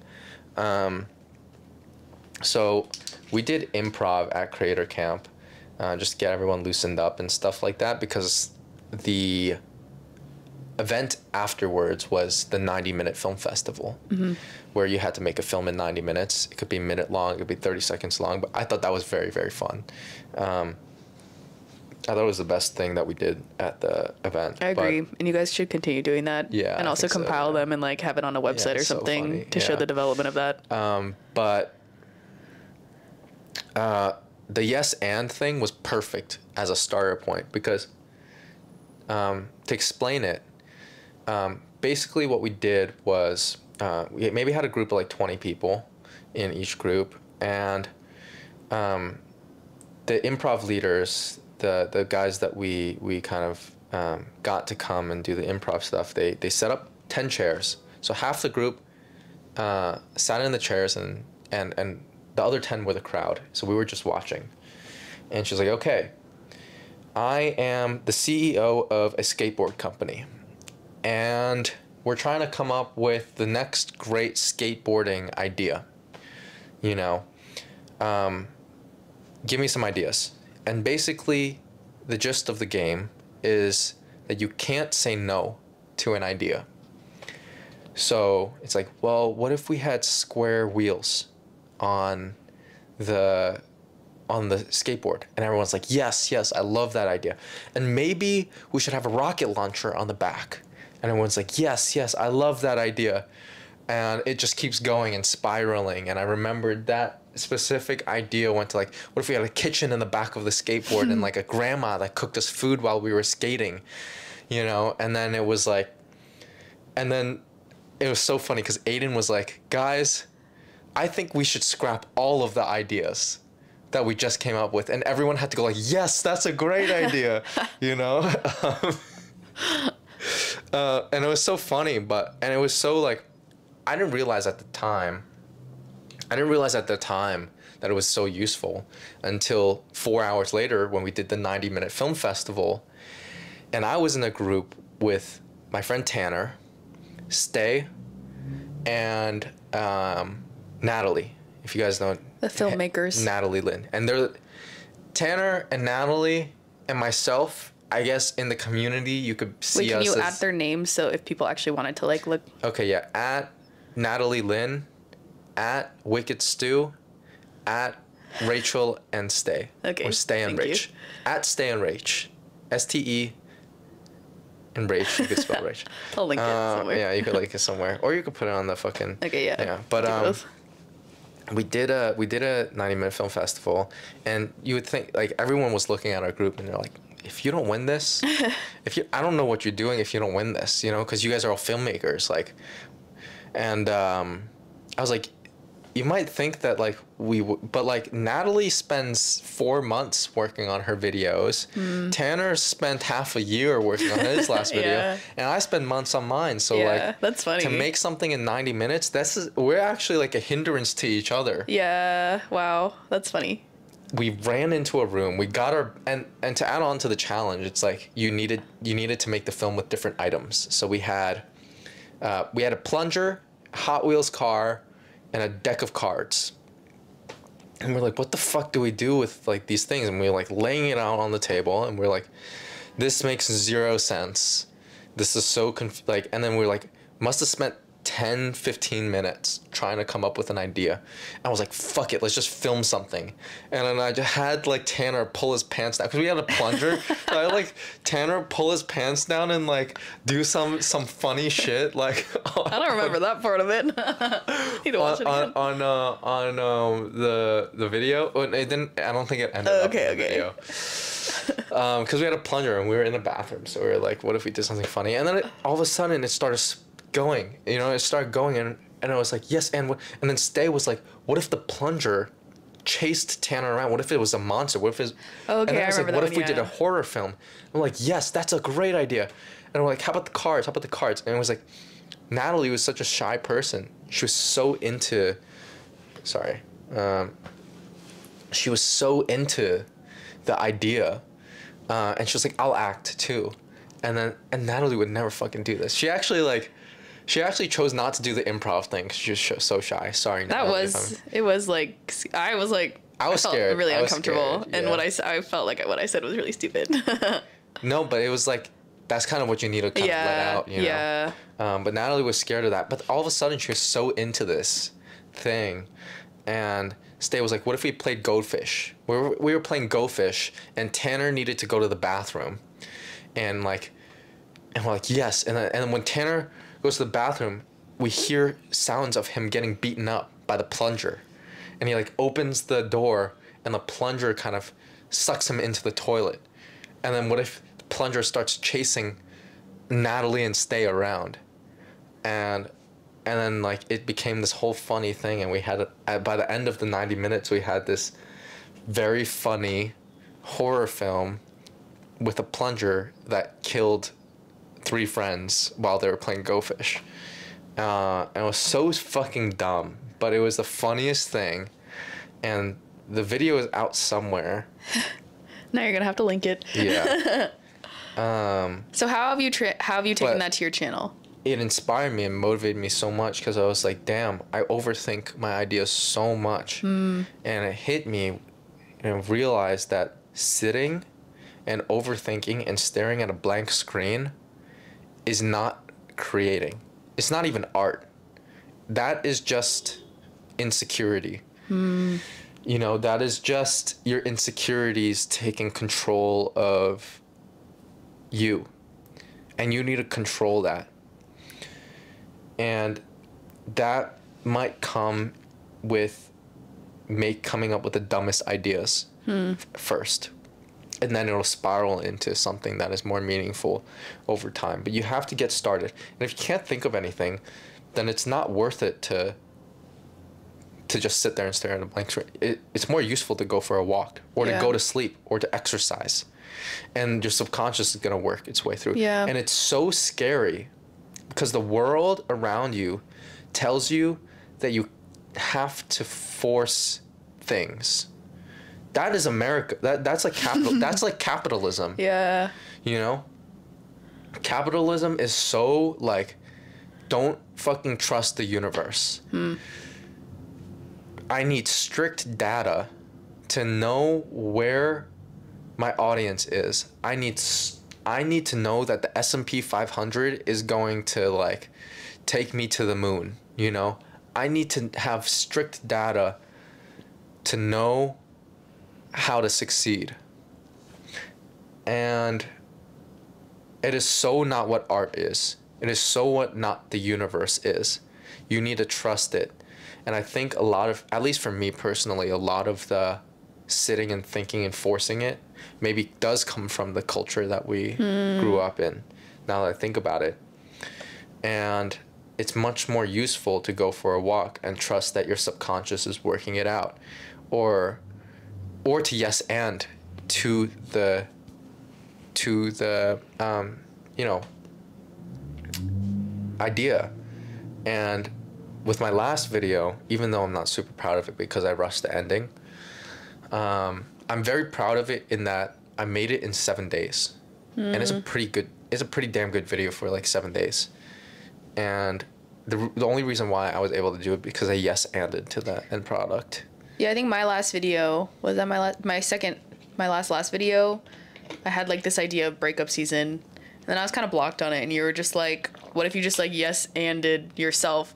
And then it's literally just like talking to yourself. Then you're just like you bring up this one Yeah. idea, and then you're like, "Yes, and also this is just like the next thought that I had." Yeah. So it's like starting with like a blank canvas and just like allowing yourself to like go there. yeah but i realized that's great and all Oh yeah, what was the limitation? the limitation there is the idea just might not be good yeah, you know the, I, like you might yes and to a shit idea yeah. You might paint an ugly know? ass. yeah yeah Painting. so like so then what's the solution there then i read rick rubin's book well the solution is to so fucking simple it's just to try different things Mm-hmm.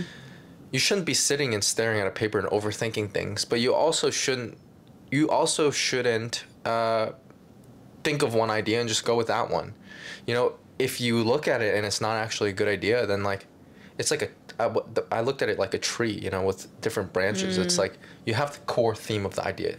The core theme is breakup season. Now what's the story around the theme right? Well you have the trunk. Maybe you could do this thing. Oh maybe that doesn't work. Maybe and then one of them is going to lead to like a fruit or something like Yeah, that That is wow. like That's beautiful. that's that's the way to go. That's the route to go.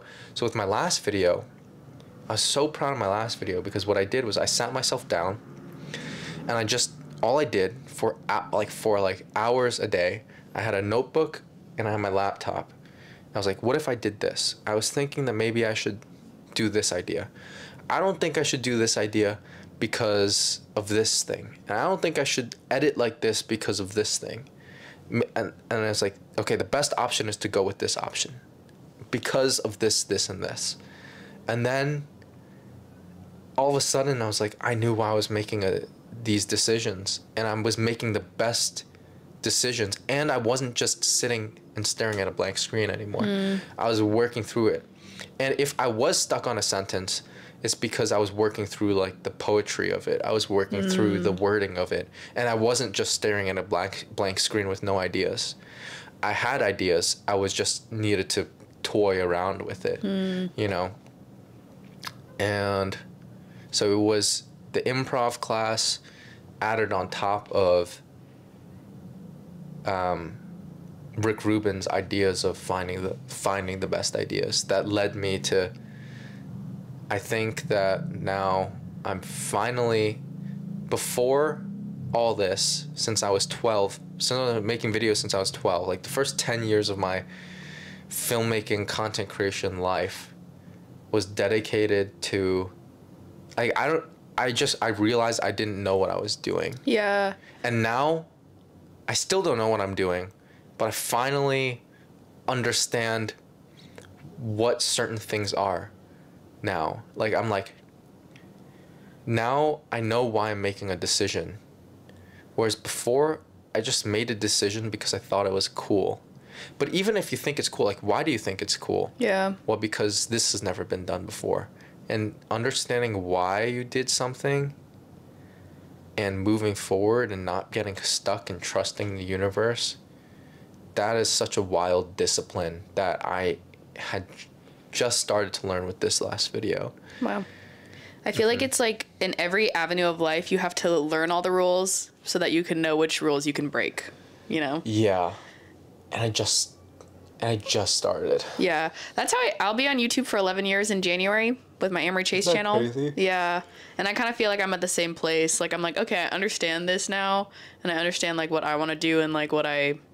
Yeah, I've like learned the rules, and I'm like, okay, I don't need to follow these rules. Like, which which rules do I need to follow? Yeah, yeah, and and and you do have to go through the shitty maybe you do Yeah. have to go through the shitty times where you think you have to follow the algorithm Yeah, I think so. I think it's You all part of the process. yeah Okay, my last question for you today is what manifestations do you want to put out into the universe?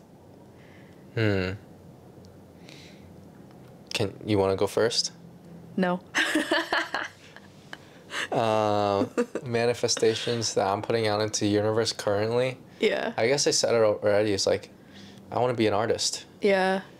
you know and i want to it's so fucking simple but i just want to it's so simple okay?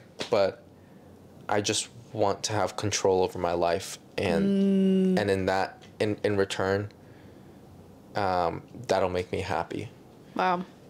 like you know i want to have control. I want to f- not feel like the businesses and youtube own me. Yeah. right now they still do own me.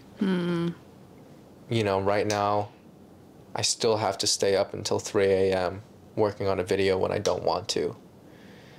But i hope that after this next video i can start on that journey by searching for places to stay in new york city. Here maybe. I think you like this Um, place a lot. by um you know setting my boundaries with the businesses so that I could focus on my videos and by spending time with people that want to pursue the same thing that I want to pursue. I think that's what I want to manifest Yeah. honestly i i just want to be like i don't know like ha- is it like it's so simple but i it's like i just want to be happy you know That is actually what I always wish for. When I have to wish for anything, I'm like happiness. Yeah that's what i'm working towards right now. Yeah. and there are things that i'm very happy about right now that i'm realize all these things but i still get anxious because like youtube still definitely does own my life you know? And whenever my manager texts me about an integration that business owns my life for the month that i have to make the video you know? Especially as an artist where you mm. every every frame means something to you and you want to make every frame the best it could possibly be then to like to have a business go like i want that to be done in a month. Um, and it's not even a thing that you like. So so those are things that i'm work actively working through right now so that i can i can fully embrace that that artist lifestyle yeah manifesting discipline and yeah. I um i was i think i told you like several weeks ago i was just like pretty sad and miserable. I'd just come back from like a big business meeting and i was just not in a good mood and I journaled. I was like, what would make me happy right now? What would get me out of this misery right now? And I was like, I couldn't think of anything. I was like, damn, is the world just this gray? Like, am I just this sad right now? Like, how the fuck do I get out of this? And I remembered that I just bought a drawing pad hmm. the day before and it just arrived. And I started drawing and testing things out. I had so much fun drawing. I woke up the next day with this like jolt of excitement and joy that I got to learn how to draw for my next video. You know, and then I got to learn, and this was a new addition to my world. And it's sick. I feel like that's gonna Thank be like game changing for your videos. Thank you. Yeah, I'm learning. Um, and this is like kind of the first step, and it's not perfect, but it's so exciting. You should make like a playlist of the videos that you watch to learn how to do whatever you're doing because it's kind of crazy. Yeah, yeah. Then- I, I definitely will. Um, but that is like, that is like, the only thing I remember almost giving up writing that journal because I just couldn't think of anything that would make me happy. And then I, and I closed my journal and I was like, oh wait a minute, the drawing made me happy. but like let's dig a little bit deeper. Like why did the drawing make me happy? Because it, it was like this new addition to my world. It's just like when i get happy when i buy a new shirt or like when i get excited about you know um, changing thumbnails to my videos because like i understand what my world looks like now you know? I realized that's what excited me. And i thought the whole time and this is so wild but like i thought the whole time i was like um, maybe a relationship would make me happier. you know? I think that's a thing that a lot of people fall into too. Yeah. So they was like, will rush to get into a, a, girlfriend would make me happier right now because I'm just miserable by myself and I'm just lonely. Yeah. And and then I, I started to go down that path of like, okay, drawing, building my world. That's what excites me. If I like it, and that's not too far away from now, you know?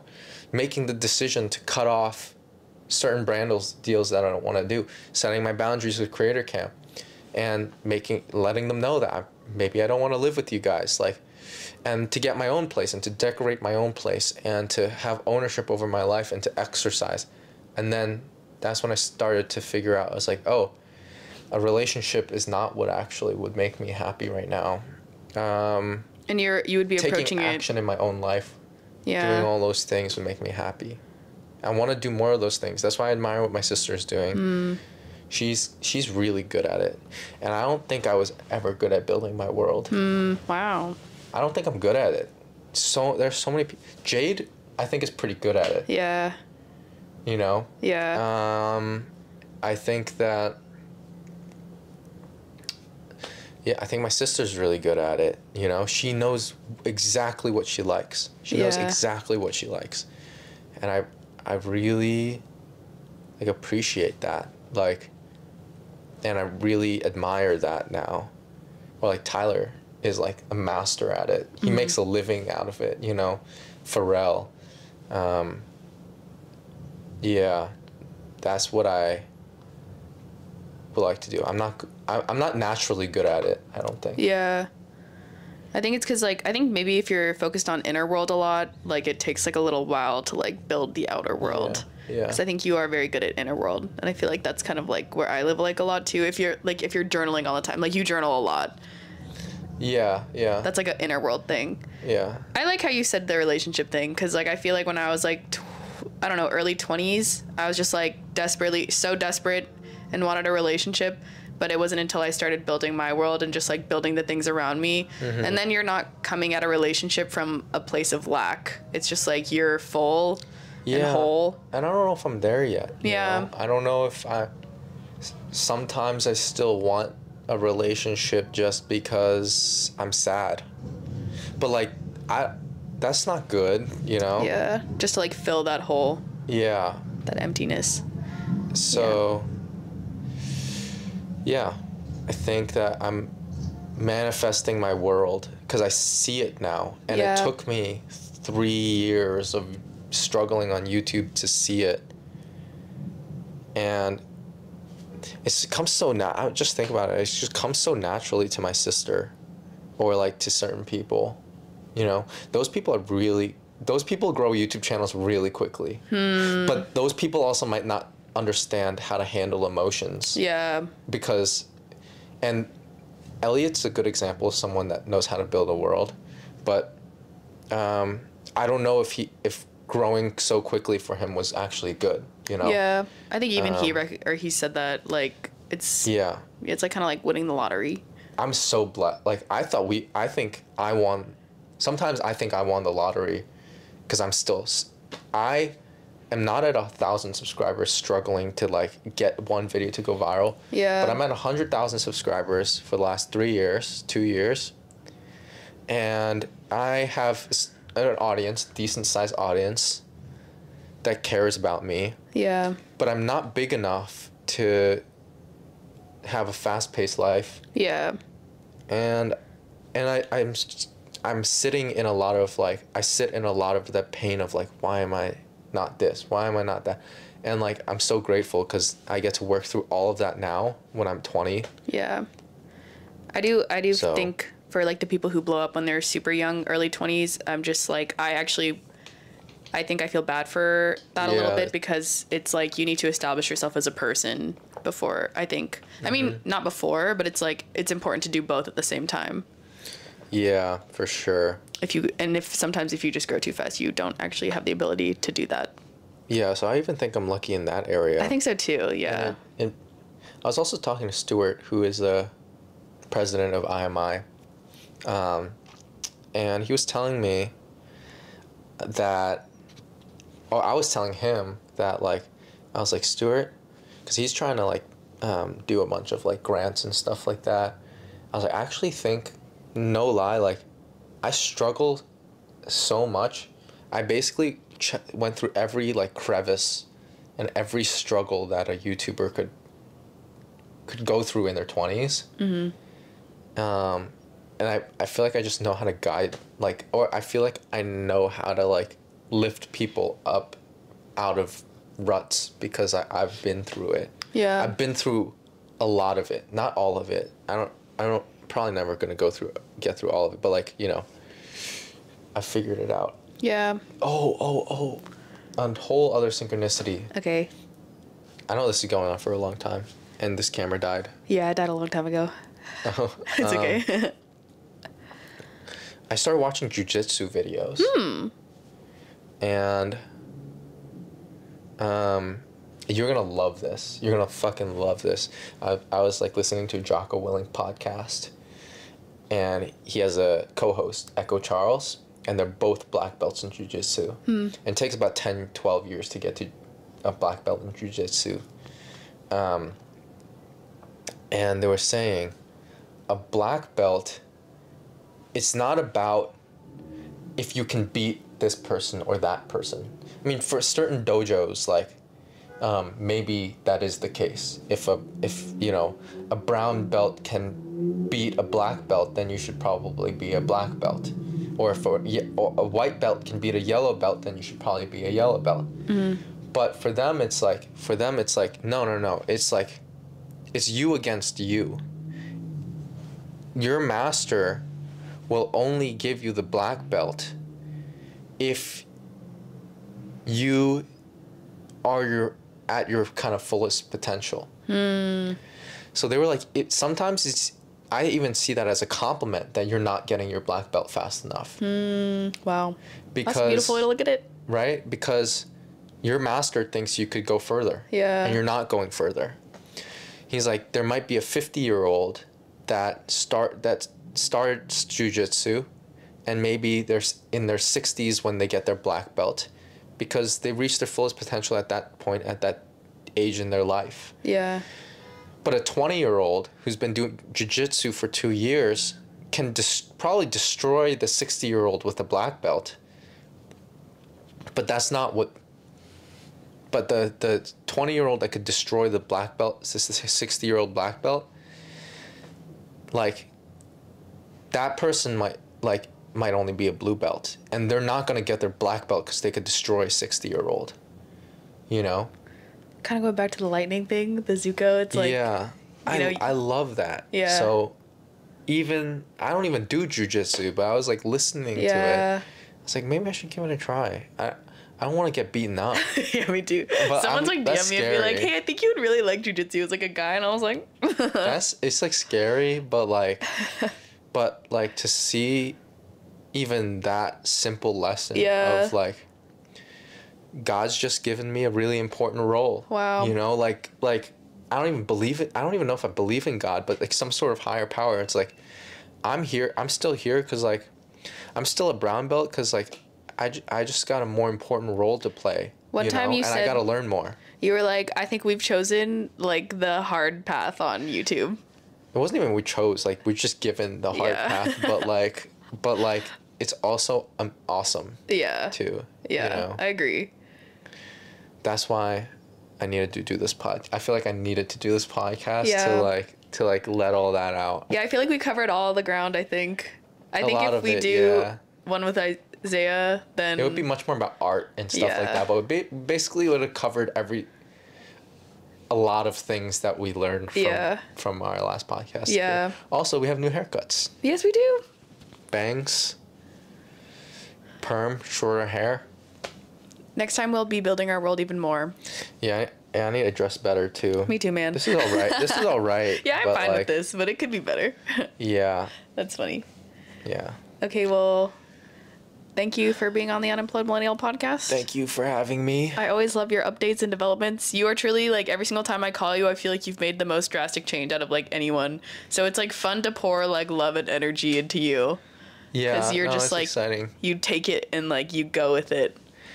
Can I also say like as as like a, on our friendship, like, I, I like the I feel like we're kind of like in some t- some ways like an accountability partners Yeah. for like life in Yeah. general, and um.